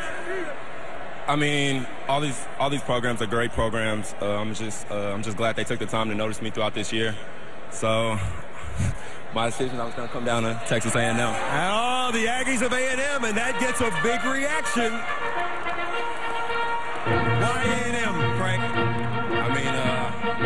A&M was a home from once I came down there. You know, uh, it was a great support group, and I'm just glad to be down there and be a family. There's no question you made your mom happy. Let me ask your brother Davis. He's only going to be about an hour and a half away from home. How big is that for family? It's a real big thing. It's a good thing that, uh, to know he he's not that far away from home, and uh, but my mom can always just make a trip like an hour and a half away to get to his game, so that's a real good thing. All right, so the family affair will continue. Congratulations. Good luck there. Paul? All right, Lewis, in one week's time, Texas A&M loses a six-foot-five wide receiver, Mike Evans, to the NFL draft, but they gain six-foot-six Frank Iheanacho. It's a decent trade. One that Kevin Sumlin sure hopes works out. Quarterback for the East team is Caleb Henderson, and the running back, Nick Chubb, who's on his way to Georgia. The skill set that Frank Iheanacho brings to the table is the ability to locate and make the play on the jump ball. We talked about his basketball background. He played more hoops than he did football at his high school. But the thing he can do is he's transitioned quickly into a football player. And we saw with Lewis Johnson down there, the community that's been around Frank Iheanacho to help him quickly become one of the top recruits in the country. His coaches were able to help him out as well. Well, and he already weighs 220 pounds as mainly a basketball player. So you look at him and he might be able to fill out, who knows, and become a, a Jimmy Graham type tight end at some point as well, the way football's trending. Henderson stepping up there on third down and eight. Not quite enough for a first down. For more on Frank Iheanacho and his decision to attend Texas A&M, here's Barton Simmons. Well, the jump ball lives on in College Station, guys. I mean, Mike Evans takes off for the NFL. Uh, Frank Iheanacho steps in. Same frame, 6'5", 6'6". He's got a 6'11 wingspan, so that really gives you a big catch radius if you're a quarterback. He may redshirt, add some weight just like Mike Evans did, but you add him to a kid like Speedy Noil, who Texas A&M got earlier this week, a five-star wide receiver. That's a great combo for Kyle Allen to throw to in the future. Kyle Allen going to perform at Kyle Field. See how many times he can find Frank Iheanacho. Christian McCaffrey on his way to Stanford. Impressive return just inside the 40-yard line. Going to play running back and uh, slash a little bit of slot. Thinks they're going to use him at Stanford just like Oregon uses De'Anthony Thomas. Frank Iheanacho, nice to have it over with. He is on his way to College Station to catch passes as an Aggie. We're back inside the Alamodome after this. All right. My name is Zach Whitley, and I'm committed to Alabama. My name is Joshua Frazier, and I'm committed to Alabama. I'm Sean Hamilton. I'm committed to Alabama. Yo, Bama. Roll, Roll Tide. Will Grier going to see that side four times as a Florida Gator. Quarterback from North Carolina headed to Gainesville. Over the years, Football University has trained and coached 29 Army All-Americans, including Will Grier. During bowl week, coaches like former NFL quarterback Jeff Rutledge spent time working with these athletes to develop their technique as well as to ensure success on the field. Football University trains the top football players in America. As the game has changed, safety is more important. The elite training is technique-based, which is a difference maker in an athlete's career.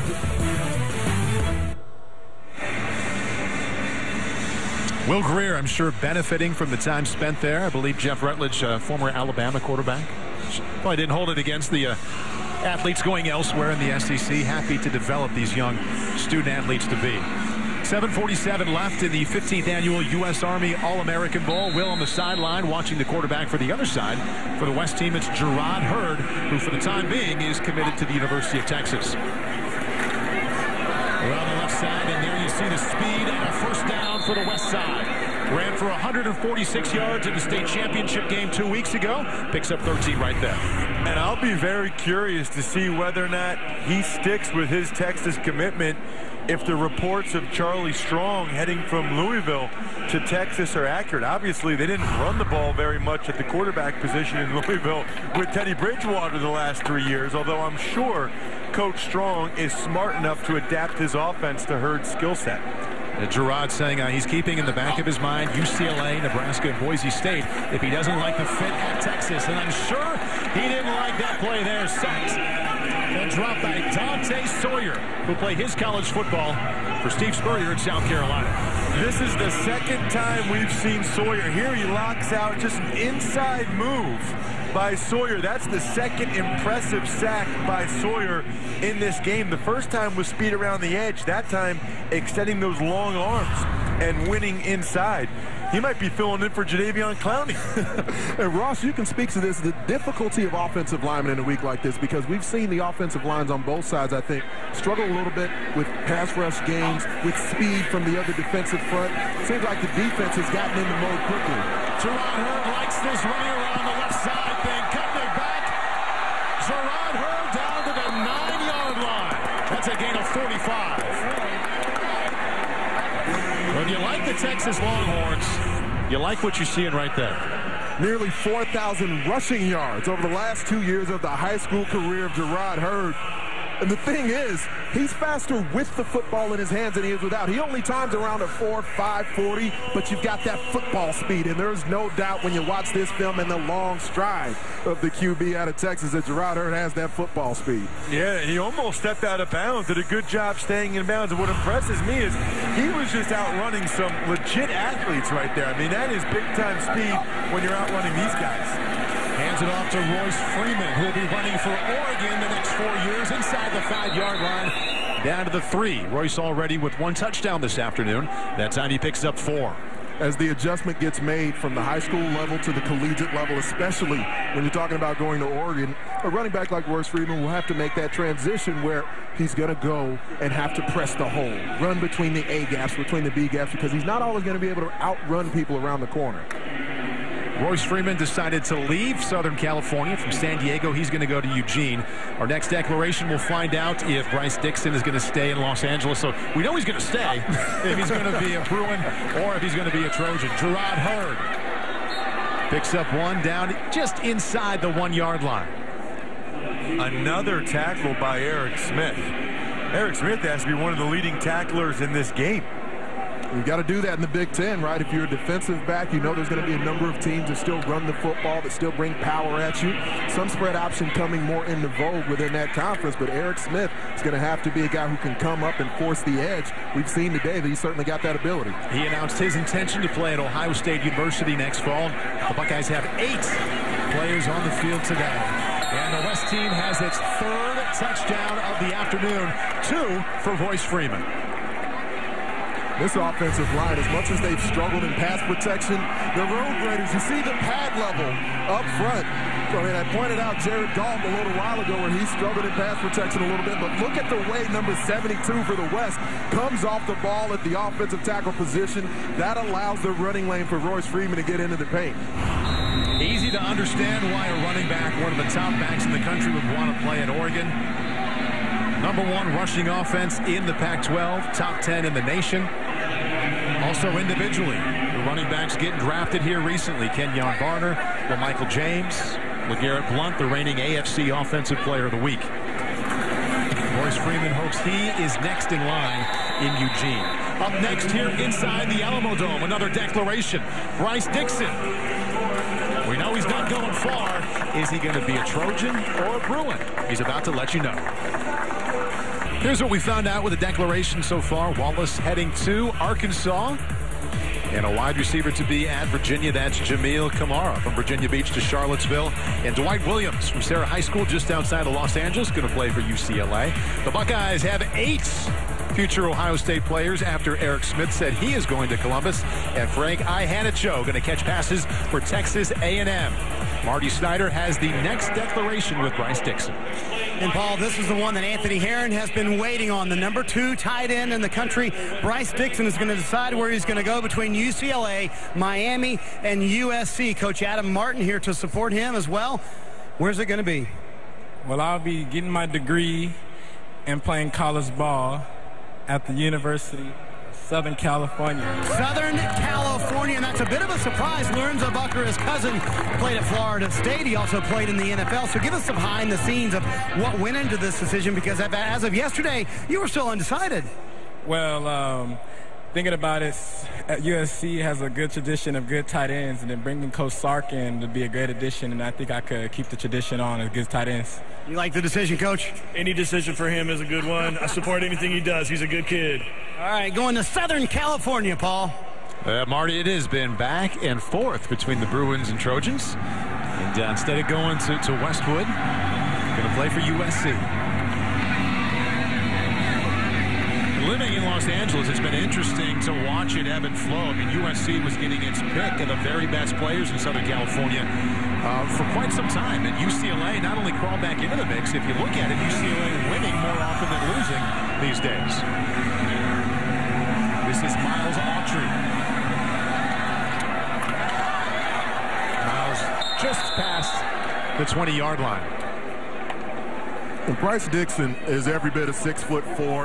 Right now, he's in that 215, 220 pound range. He's actually lost 40 pounds since his junior year. He was 260 earlier in his career, but we see the fluidity that he runs pass routes with. He, he's one of these guys who's basically a wide receiver in a tight end's body, and he can make circus catches anywhere you want him to, outside of his cage, one-handed, two-handed, diving outside his frame. It's really impressive to watch the growth and development that he's had, not only as an athlete, but as a more physical football player, a guy who's probably going to be in that H-back, H-back slot sort of role, but he can emerge as being more of an inline blocker. Future Tar Heel Elijah Hood trying to turn the corner. Impressive job of doing so.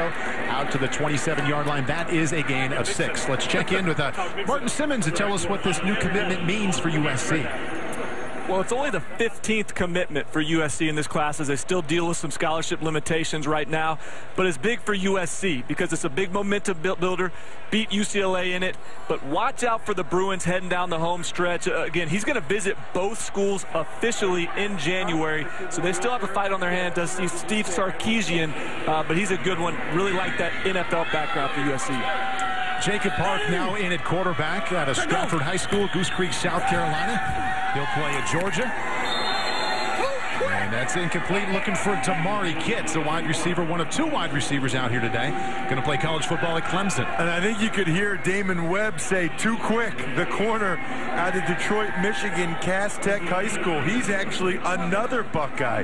Talk about a, a, a spoil of riches there for Ohio State in terms of the defensive backs, and we'll still see where Marshon Lattimore is going later in the game. But they tried to run the wide receiver screen on him, and he beat Nic Weishar, the future Notre Dame tight end who was trying to block him to the punch. We are rotating quarterbacks, or we should say the East team rotating quarterbacks on this drive. Here's Will Grier back in the game. Keeps it himself uh, around the left side. Will can run it a little bit, but what he really does well is pass it. State title game, 599 yards passing and seven touchdowns. He was a little off his game because he's been known to go over 800 what, that, yards. That was the whole postseason, or that was one single game. you have numbers like that when you're junior and senior year. You're over 10,000 total. Good grief. Well, what, and what I like about the game where he had over 800 yards, Paul, that we were talking about earlier, is the final score was 104 to 80. So it's, it's not like they were running the score up. Like they needed all those yards. They needed him to stay in the game and keep throwing. Otherwise, they might have lost. That's a good thing his defense came to play on that day, holding the opponent to only 80 points. Jacob Park misfires. And the rotating of quarterbacks uh, doesn't work for the East team as they still look for their very first points. We're looking for more declarations. Bryce Dixon is happy because he just told us he is going to be a USC Trojan. It's true, I don't think. Freeman Jones. Caleb Henderson. Elijah Hood. Billy Spain. Go, Go Eagles. Yeah! I went too early. Now at art, fast and physical, and you're only doing fast and physical. It's no accident that linebacker Zach Whitley has achieved so much in his life with mentors like Staff Sergeant Robert Statham, a broadcast journalist in the U.S. Army Reserve, in his corner. So you surprised to see me? Yeah, suited up. I mean, that surprised me that they teach stuff like this there that you can just be a cameraman. Yeah, the Army has all kinds of cool opportunities. I've been all over the world. They teach you some really, really cool stuff. And I really appreciate that. If I didn't have football, I would go to the Army. Honestly. Best thing in the world is to represent this right here, U.S. Army. And Zach Whitley had a change of heart last night, decommitted from Alabama. Going to play college football at UCLA. Which I think Paul brings up a really good point, which is that nothing is official until these guys sign a letter of intent on the dotted line the first Yeah. Wednesday in February. I mean, there, there's still about a month to go, and there could be more guys like Whitley that change their mind. That's what's turned into a huge part of the recruiting game now is that you have to stay after these athletes even after they commit. Kyle Allen going to Texas A&M and looking toward the end zone. It's out of bounds. His intended receiver is actually his running back, Christian McCaffrey. Father Ed was a great receiver at Stanford. He'll also go to Stanford. See if he can have the type of career his dad did. Ed McCaffrey, the um, solid career, if not really good career, for the Denver Broncos. It is interesting, just getting back to Whitley for a second with his decommitment from Alabama to UCLA. There are certain programs that you can tell based on this game are on the rise. UCLA, Baylor, Texas A&M. They're getting a lot more players in this game than they used to. Kyle Allen throwing in rhythm that time as the West team picks up a first down. The completion to Bryce Dixon moments ago. He told us he's going to USC. Now he has a first down reception. It's about time they threw the football to him. He's 6'4". He's got a huge wingspan. He's a big-time playmaker. Nice to see the tight end get into the action here, too. Next declaration, uh, we go to the defensive side of the ball. Nyles Morgan going to tell you where he's going. That's coming up at the top at the fourth, top of the fourth quarter. Going to be between Notre Dame, Vandy, and Ole Miss. Kyle Allen to the end zone. That was a nice throw. And I had a show. Had a shot. And that's really his skill set, delivering that football up top the way Kyle Allen did. And again, pretty accurate pass, throwing it away from the defender where his offensive player is the only one with a shot at it. At six foot six, uh, Iheanacho, went up, tried to run under the football as opposed to maybe turning those shoulders and trying to high point it. And they're going to get a chance to, to perfect that as they're both going to play at Texas A&M. a lot of time to work on that route. go. Second down, 10. Kyle Allen chasing the ball, doesn't get it, still squirting around, and the East squad has it. Off and running, the future Ohio State Buckeye, Jalyn Holmes. Touchdown, East team.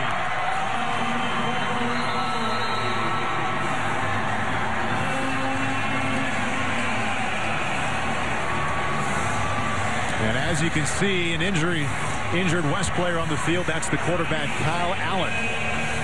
Now being helped up. Good to see him walking off the field. Another somewhat errant snap. As you mentioned earlier, Ross, that QB center exchange, very difficult to get down in a game like this and be precise with it. It's good to see Kyle Allen walk off, though, and his coach smiling at him. The last thing you want to see in a game like this, obviously, is any sort of injury. I mean, he's reporting to College Station on Tuesday, and he wants to compete in spring ball. He looks like he's okay over there. Also nice to see for the E squad.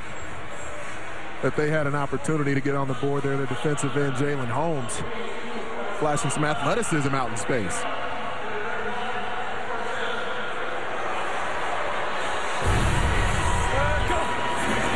As the play develops, snap from center, just slightly off. Allen actually tried to kick it out of bounds. Nice scoop and score opportunity there from Jalyn Holmes. State Buckeye Jalyn Holmes.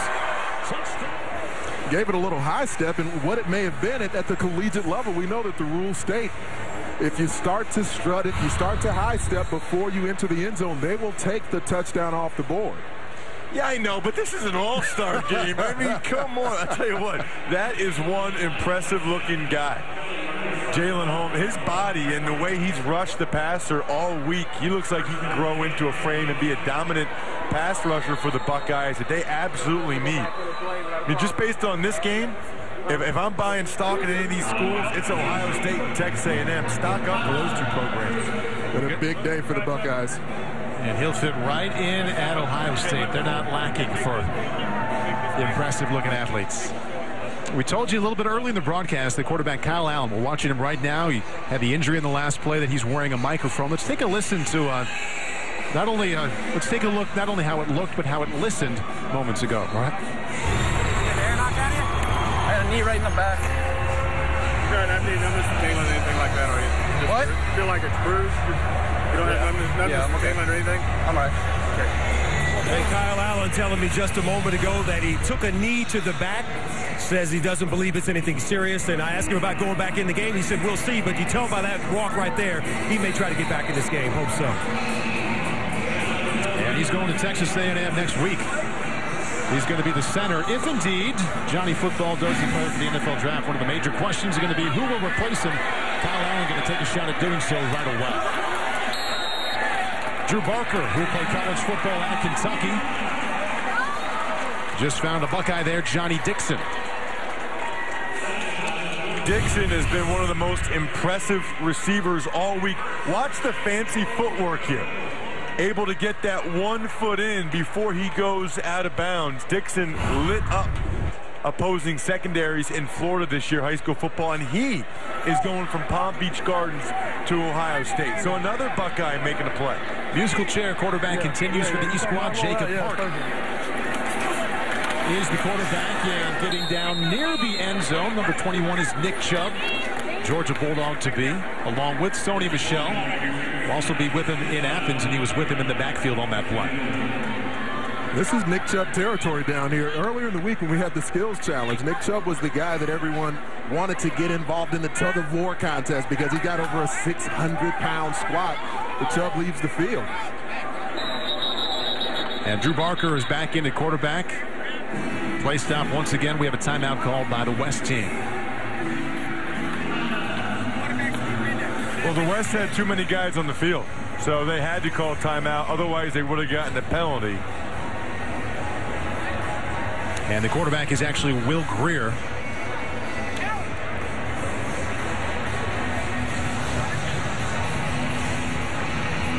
And we've mentioned throughout the broadcast here all the uh, former players in this game you're going to watch on Wild Card Weekend. One of them, All-Pro selection, Jamaal Charles. We asked him to recall his experience here in San Antonio. I remember them coming to my school and, and uh, I had a pep rally. I'm the only guy on the football team that was having a pep rally for her. That meant a lot to me. It was a very special moment. I have memories of like, yeah, he played with me in the U.S. Army game and I still talk about it. You know, you take memories from them times going back from 10 years ago and, and being where you at now. I mean, that's, that's something special. I'm Jamaal Charles. I played in the 2005 U.S. Army All-American game. Watch us take on the coast tonight. And on defense, the, the Chiefs going to have the help from Eric Berry. He played in this game. He'll be facing Andrew Luck. He played in this game. You can watch Chiefs Colts later this afternoon right here on NBC. And right after that one, it's more Wild Card Weekend. We go to the NFC the Philadelphia to check out the Saints and the Eagles. LeSean McCoy, big honor earlier this week, along with Jamaal Charles. LeSean, a, an all-pro tailback. He played in this game. And I'm not quite done. DeSean Jackson, another playmaker on offense. If you're a historian of the U.S. Army All-American Bowl, you remember watching DeSean play on this field as well.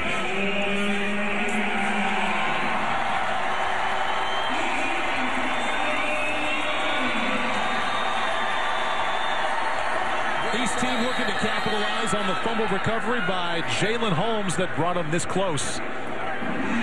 Jalyn actually made it into the end zone, but was a little too excited. His celebration led to a penalty, brought the football back. And now the East looking to score for the first time today. The quarterback there is Jacob Park. More declarations coming up. Nyles Morgan, a linebacker. Will he stay in the Midwest or go to Vanderbilt? He's about to let you know. Buckeye. He is Erick Smith, the defensive back. Frank Iheanacho going to play wide receiver at Texas A&M. Tight end. He'll also catch passes. That's Bryce Dixon going to USC is the Los Angeles native. We have three more declarations to go, starting out with Nyles Morgan. Here's Lewis Johnson. All right, a big linebacker out of Crete-Monee High School in Chicago, Illinois, just outside Chicago, as a matter of fact. Here with a lot of family members, mom, dad, auntie, grandmother, everybody came into town for this big moment. And so, Nyles, you have been sought after around the country. You've got it down to three hats. And in front of us, we have Vanderbilt, Notre Dame, and Ole Miss. And so after a big day where you've got eight tackles so far, the world awaits your decision. Where will you play your college football? Uh, I mean, first of all, it's been a humbling and blessed experience, you know, um, a great journey, but uh, today is going to end with um, me committing to University of Notre Dame. The Fighting Irish. Brian Kelly picking up a big linebacker. How big, how difficult was the decision for you? It was hard, you know, because uh, I really love both schools that were uh, contending for this, but uh, just came down to what was uh, most important. Right, and how do you think you'll be able to help the Irish defense next year? Uh, they do need a Mike linebacker, so, you know, I'll um, come in and fill that role. All right, you will be the guy. Yeah. All right, is family happy about that, coach? Is everybody good? Thumbs up. Thumbs up, Paul. And Nyles Morgan going to make the short drive from Chicagoland to South Bend. Nyles Morgan plays the game with a ferocity that teeters on the brink of sheer bedlam. He is a seek and destroy linebacker like few other in the country. You see the blitz ability that he has penetrating into the backfield, but he's instinctive. He can locate the football outside the hash marks. He can chase it down, and he hits anything that moves. There's a lot of friendly fire on the film of Nyles Morgan as well. Friendly fire as in uh, hitting some of his own teammates? if they were in the way, he was willing to do it, Paul. All right, the East team looking to start the fourth quarter with its very first touchdown. They trail 21 to nothing. This is Sony Michel. And there is your East touchdown, scored by the future Georgia Bulldog.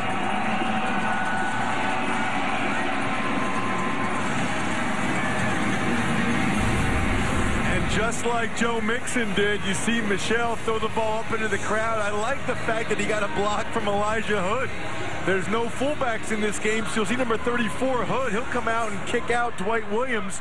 Michel turned it up right behind the block of big left tackle Quenton Nelson to get the East on the board. And Georgia Bulldog fans know very well what they just saw. They hope to see much more of that the next four years. Jacob Park, the quarterback, who will play in Athens, handing off to Sony Michel for a touchdown.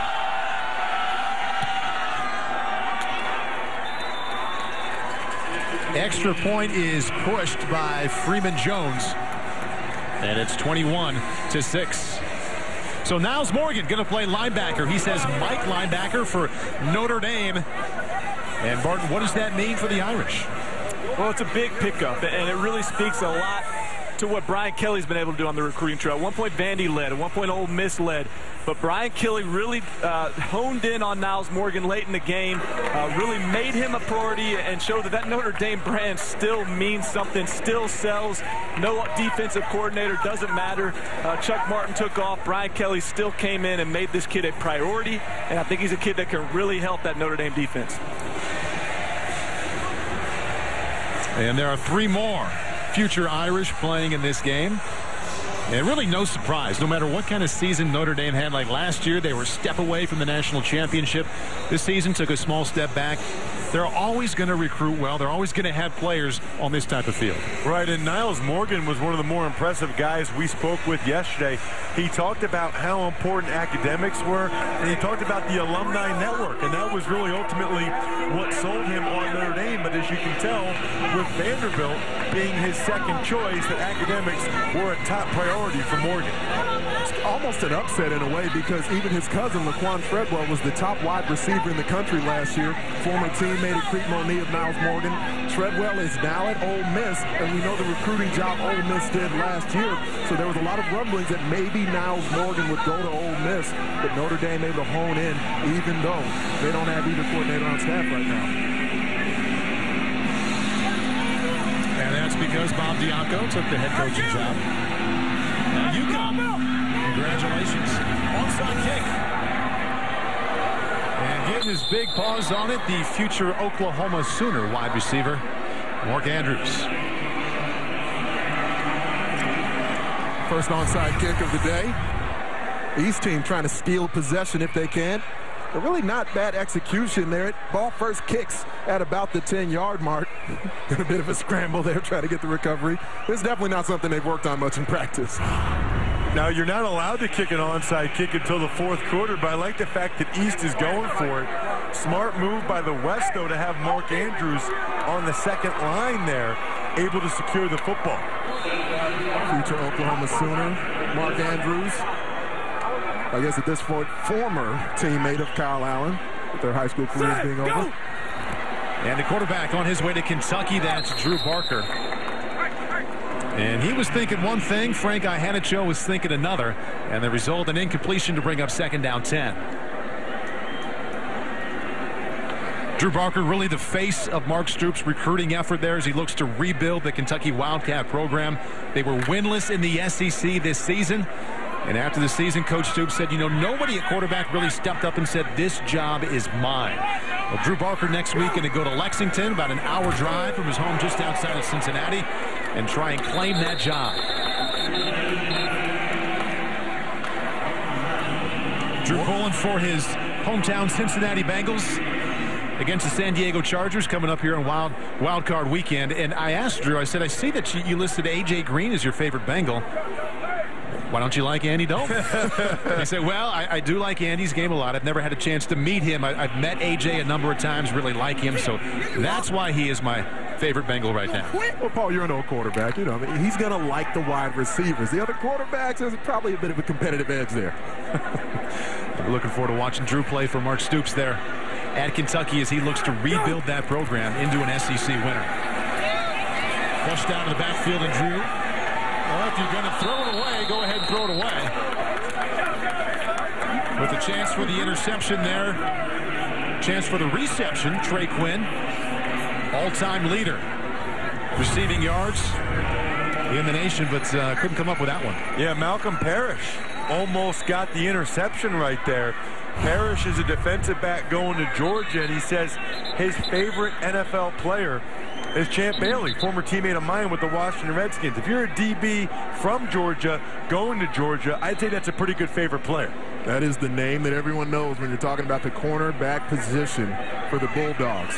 Champ Bailey, not only historically one of the great college players, but a future Pro Football Hall of Famer.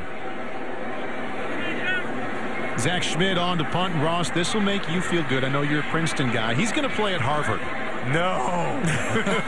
That's our hated rival. Thought you might like the Ivy League connection at least.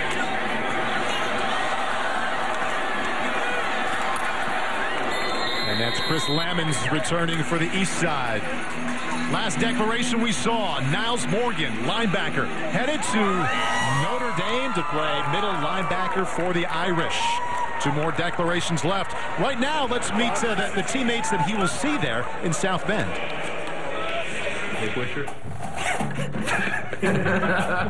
Nic Weishar. I'm sorry. Nic Weishar. Quenton Nelson. Richard. oh, man. Nic Weishar. Quenton Nelson. Richard Yeargin third. Go Irish. Go Irish. Army All-American Bowl is brought to you by the U.S. Army. They're strong, and there's Army Strong. and by the San Antonio Convention and Visitors Bureau. Always enjoy our time here in San Antonio for the U.S. Army All-American Bowl. We're watching the game play out right now in the fourth quarter. This is during the week, the Combine tryouts for next year's U.S. Army All-American Bowl. We already know these players are in. Barton Simmons, what do you see here? Well, you look at that last name on the list, Ricky Town. He's the teammate of Bryce Dixon, who's out here. He's the number one quarterback in the country for 2015. Out, of California, already committed to the University of Alabama, so big pickup there. Uh, but it's a very impressive list early on. De Deontay Thompson, uh, a kid who was an outstanding kid at the Combine yesterday. Tristan Hodge, uh, and then Daylon Mack right there, Texas and A&M commit. Uh, really impressive group already committed to the game for next year. Should be an outstanding roster. All right, Barton, thank you. We look forward to getting to know all these kids uh, next year at this time. U.S. Army All-American Bowl Week. That'll be the 16th annual. breaking down that film of Bryce Dixon, the tight end, got to see a lot of Ricky Town at quarterback. You can see why he's the number one QB in the country coming into next year. I mean, he's got mobility, he's got arm strength, he's got instincts as far as where to deliver the football.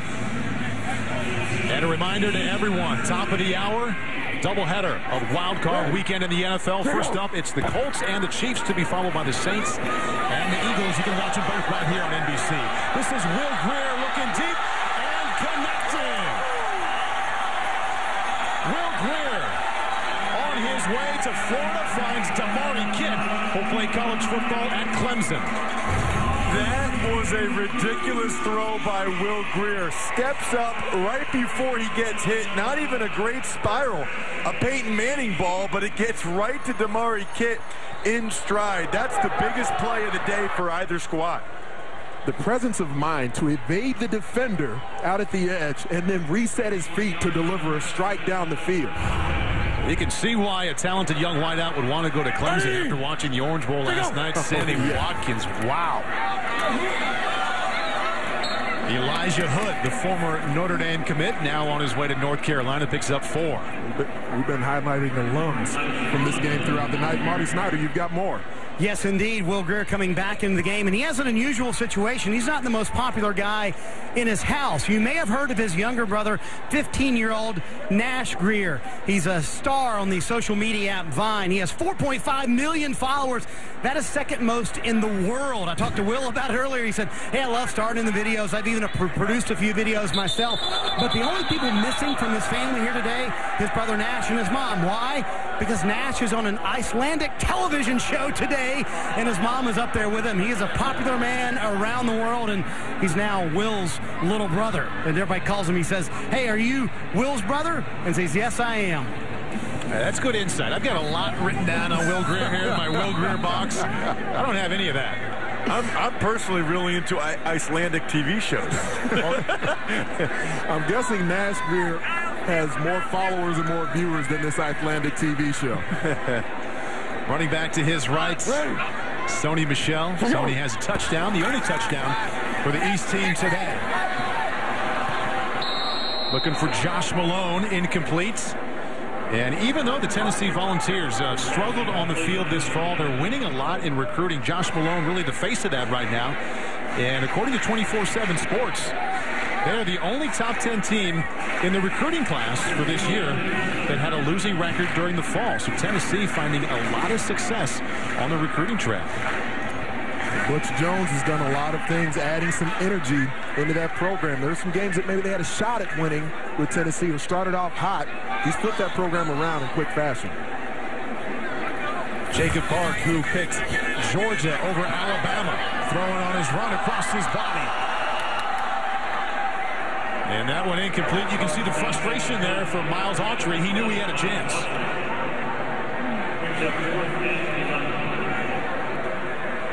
That's the second time we've seen Jacob Park one-hop a pass on the move.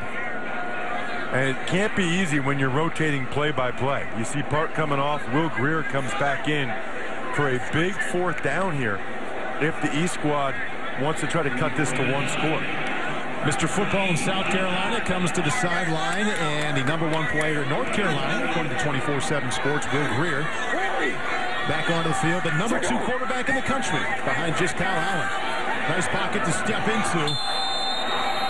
And he misfires looking for Damari Kitt. Damari holding the long pass earlier to bring the East team this deep into West territory. It's going to be declaration time again when we come back. We've already seen seven. We've seen one say he's going to Ohio State. That's Erick Smith. Marshon Lattimore. He's also an Ohio native. Is he going to play for the Buckeyes? His declaration on the other side of this break.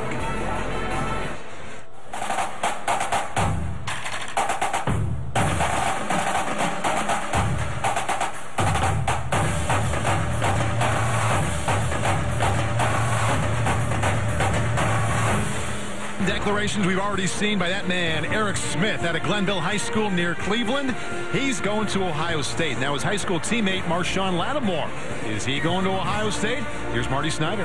We're about to find out, Paul. Yes, the second half of the combination of the Glenville backfield. So that means Coach Ted Ginn Sr. is back. Mom and Dad are here to support Marshon as well. And we're down to Oregon, Alabama, Ohio State. Are you going to follow your teammate? Where are you going to go? Uh, First of all, I want to I want to thank God for putting me in this position I am right now, and I want to thank all of them for just supporting me and uh, sticking with me throughout the process, and um, the people back home and all that. But uh, Erick already gave me up, so I'm going to be going to Ohio State. His teammate gave him up earlier, said he wanted to come to Ohio State with him. Some other teammates back here congratulating that as well. And uh, why the decision to go to Ohio State? Were you and Erick truly a package deal in this? Yeah, you could say so. We uh, always wanted to go to the same school, and plus we got uh, teammates already down there, so it's like a family. Big smile for mom. Her baby boy staying in Ohio. He's going to Ohio State, Paul. And going to play cornerback there. Also told us he's going to play a little bit of wide receiver, too. It's not unprecedented. Remember, Chris Gamble played both sides of the ball, and he showed so much playmaking ability at Glenville that I wouldn't be surprised if they get him some snaps on the offensive side of the ball. Jerrod Heard, the quarterback, the Texas commits. And that is the fly sweep around the right side. KD Cannon for the west side. Going to play wide receiver for the Baylor Bears, and Marshon Lattimore going to be a corner for the Ohio State University. Well, and this tape will look familiar to the tape we saw earlier with Erick Smith, the things he's able to do in terms of high pointing the football. And then you'll see him, the instincts and the physicality. That's one of the real hallmarks of these Glenville kids is just the physicality they have. Even the skill position guys, even the corners that you wouldn't think would be that physical, they are when they come out of Glenville. It's interesting that Lattimore, really during the recruiting process, had an opportunity to choose either side of the ball. He prefers defensive back over receiver. Jerrod Heard picking up 10 yards there. Let's go back to the sideline more. Learn a little more about Marshon Lattimore. Well, guys, talking about that Glenville pipeline, and we've seen guys like Troy Smith and Christian Bryant and Ted Ginn come from that Glenville pipeline to Ohio State. There are some people in Ohio that think Marshon Lattimore could be as talented as anybody out of that pipeline that's come before him. He talked about it. He's got the ability to play cornerback. That's where he wants to play on the next level, but he very much could end up getting snaps offensively because of those ball skills and big playability on offense. Here's Jerrod Heard looking to his left and firing. And that one's incomplete. And Jerrod, an example of players, and there's Marshon Lattimore, the Ohio State cornerback to be, giving this game nine future Ohio State Buckeyes. But a lot of these players have to deal with change in the form of the head coach they committed to leaving for one reason or another. Mack Brown is not going to be the head coach for him at Texas. Will it be Charlie Strong? We'll find out. But he told us yesterday he's still keeping it open. Going to see if he's a fit for the new system. And in the meantime, he's thinking about Nebraska, UCLA, and also Boise State.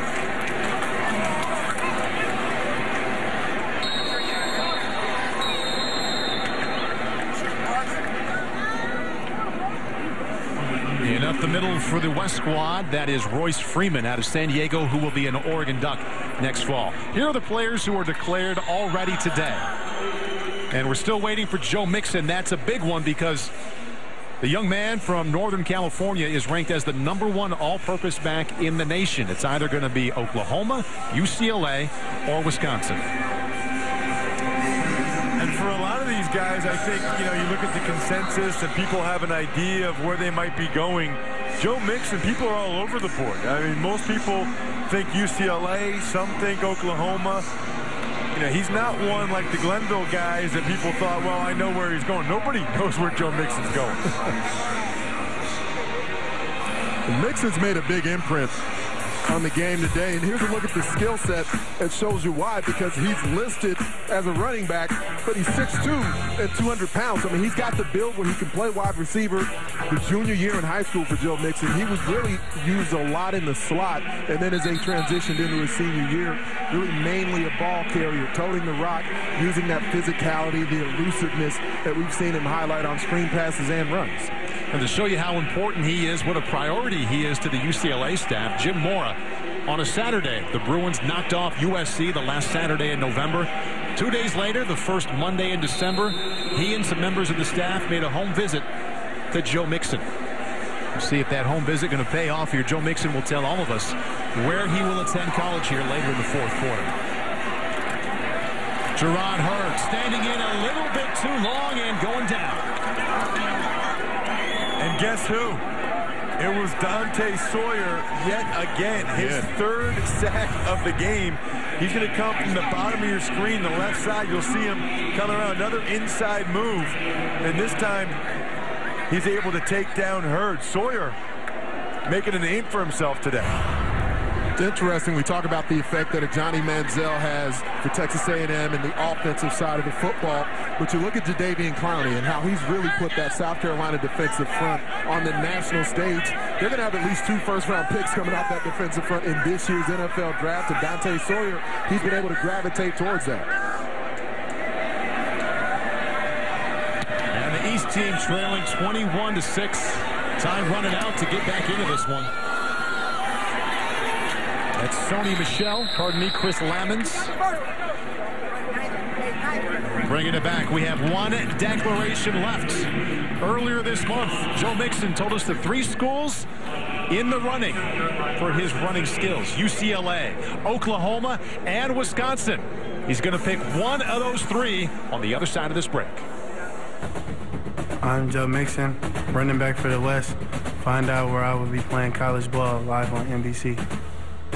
Mixon, the number one all-purpose running back in the nation. Right next to him is Lewis Johnson. He's going to get his declaration for college. All right, thanks very much, Paul. Well, this is the big one, the one we've been waiting for all day. I can still see the anticipation in your eyes and in the eyes of your family and your coaches who are here. Over 1,700 yards, 28 touchdowns, 50 offers down to four hats. Yes. So now we have Oklahoma, Wisconsin, UCLA, and also a Cal Bears hat. So, Joe, the country is waiting to know where are you going to play your college football? Well, first off, I want to thank my family. I want to thank God. I want to thank my coaches and everybody back home, you know, for representing me. And I came down here, you know, to represent them and put on a show for everybody. But I'll be I'll be taking my talents to play for Coach Gundy and Coach Stoops at Oklahoma. Oklahoma Sooners.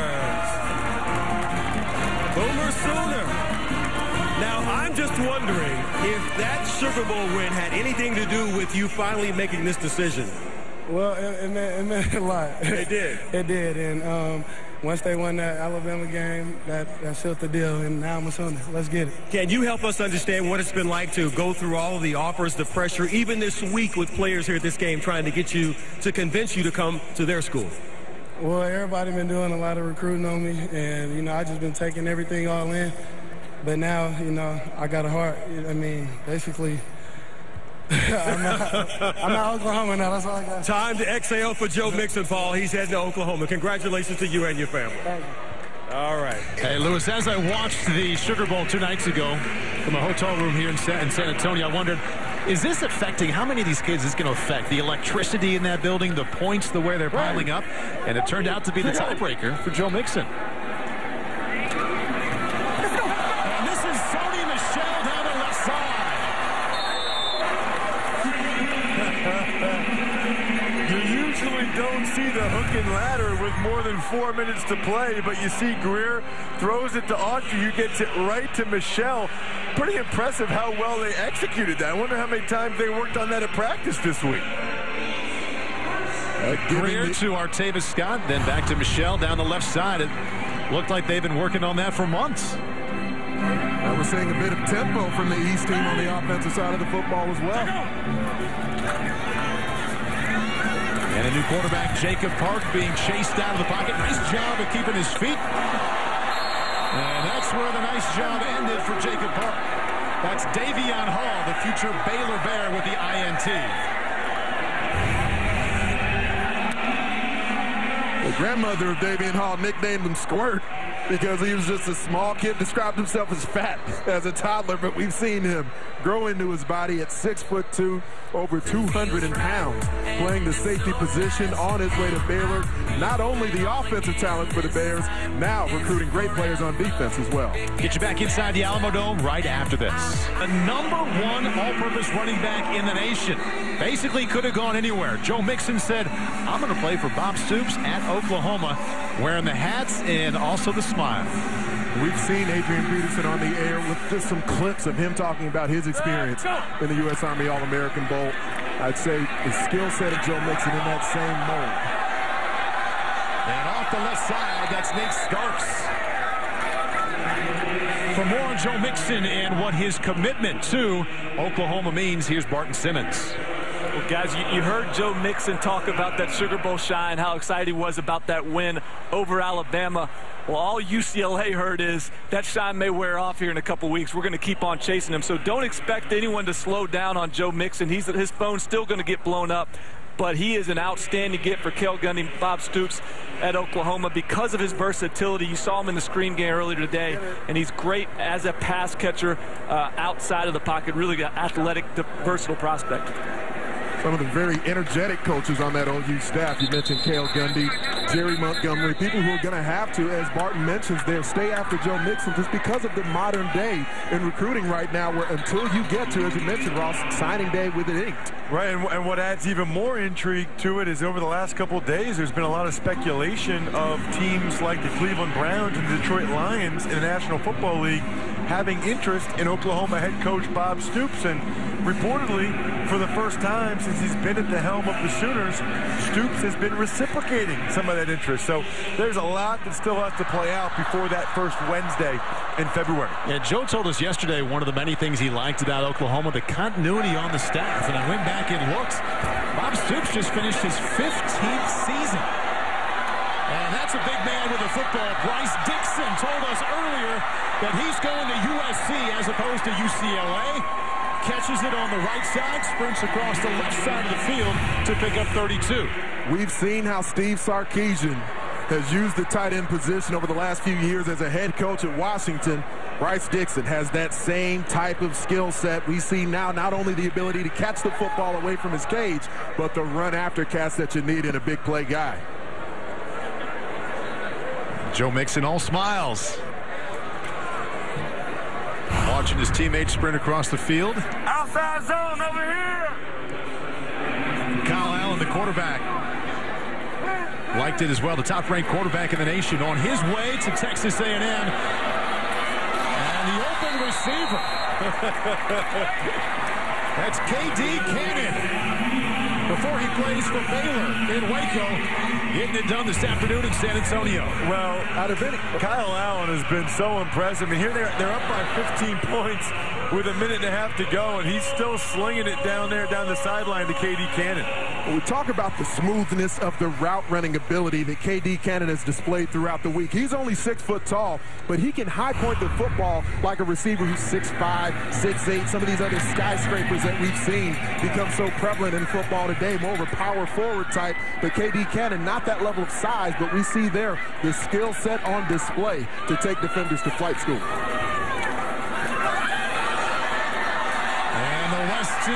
Score once again. That's Royce Freeman. And he has three touchdowns this afternoon. Making Oregon Duck fans very happy because the San Diego native will be in Eugene next fall. Really looks like another former Duck Jonathan Stewart. Just the ability as a big guy to be elusive and to have the speed to turn the corner. He's willing to turn and get north and south, run downhill, barrel over defenders as we've seen on previous touchdown runs. But I think at the collegiate level, that ability to have a big back who's 225, almost 230 pounds with that elusiveness, and then to have some of these smaller, more lightning quick type of backs as well putting a little exclamation point on an outstanding senior season when he was named the outstanding player in the San Diego area. Scored 41 touchdowns at Imperial High School. Has three touchdowns here this afternoon.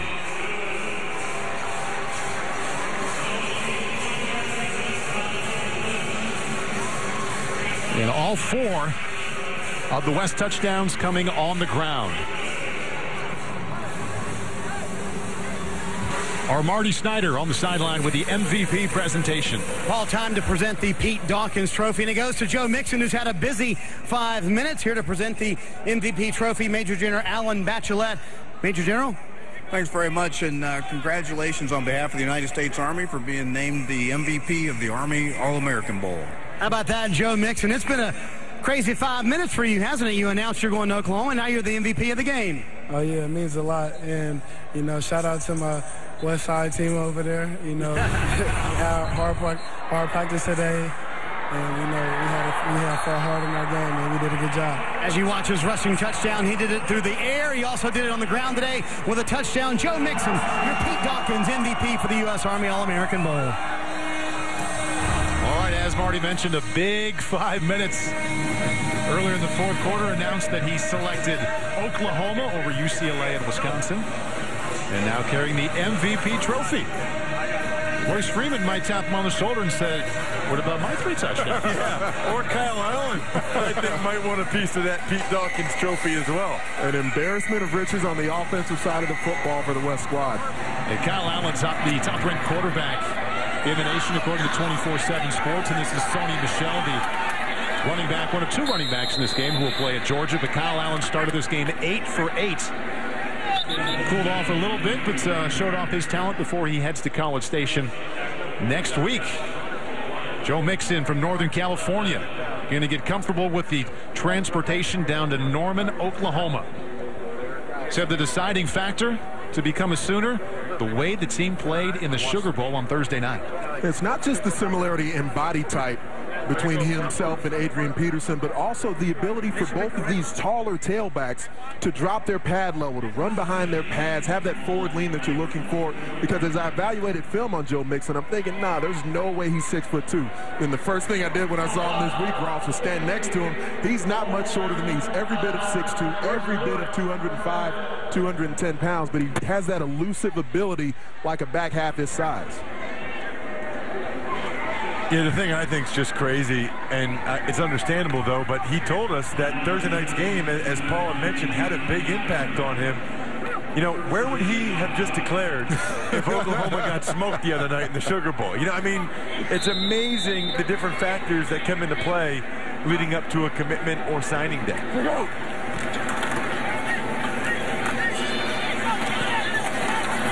Scrambling around here, that's Will Grier, and he is sacked. Getting the job done is Anu Tawa. He's going to UCLA. We know what level of talent the Bruins have on the offensive side of the football. They're adding defensive playmakers throughout today's game as well. And that's how it comes to a close, the West team. From start to finish, strong defense, very good ground game, some solid early passing from the top quarterback of the nation right there. Kyle Allen headed to Texas A&M, and the West team wins 28 draft. Ross and Anthony, final thoughts here. Well, I just think it's cool to see the guys down the field. They all make friendships, really lifelong friendships that last at the next level and even into the NFL. And just the respect that all these kids that are on high have showed to the military guys all week as well. This game is always an outstanding experience, and what I notice year after year is that it seems like the players get bigger, faster, stronger. It never ends. The increase in athleticism, but a game like this, not only focusing on the athlete, but the all-around person and this experience in interacting with our Army. At the 15th annual U.S. Army All-American Bowl in the books, we saw nine declarations today. The last one by that man right there, perhaps the most anticipated.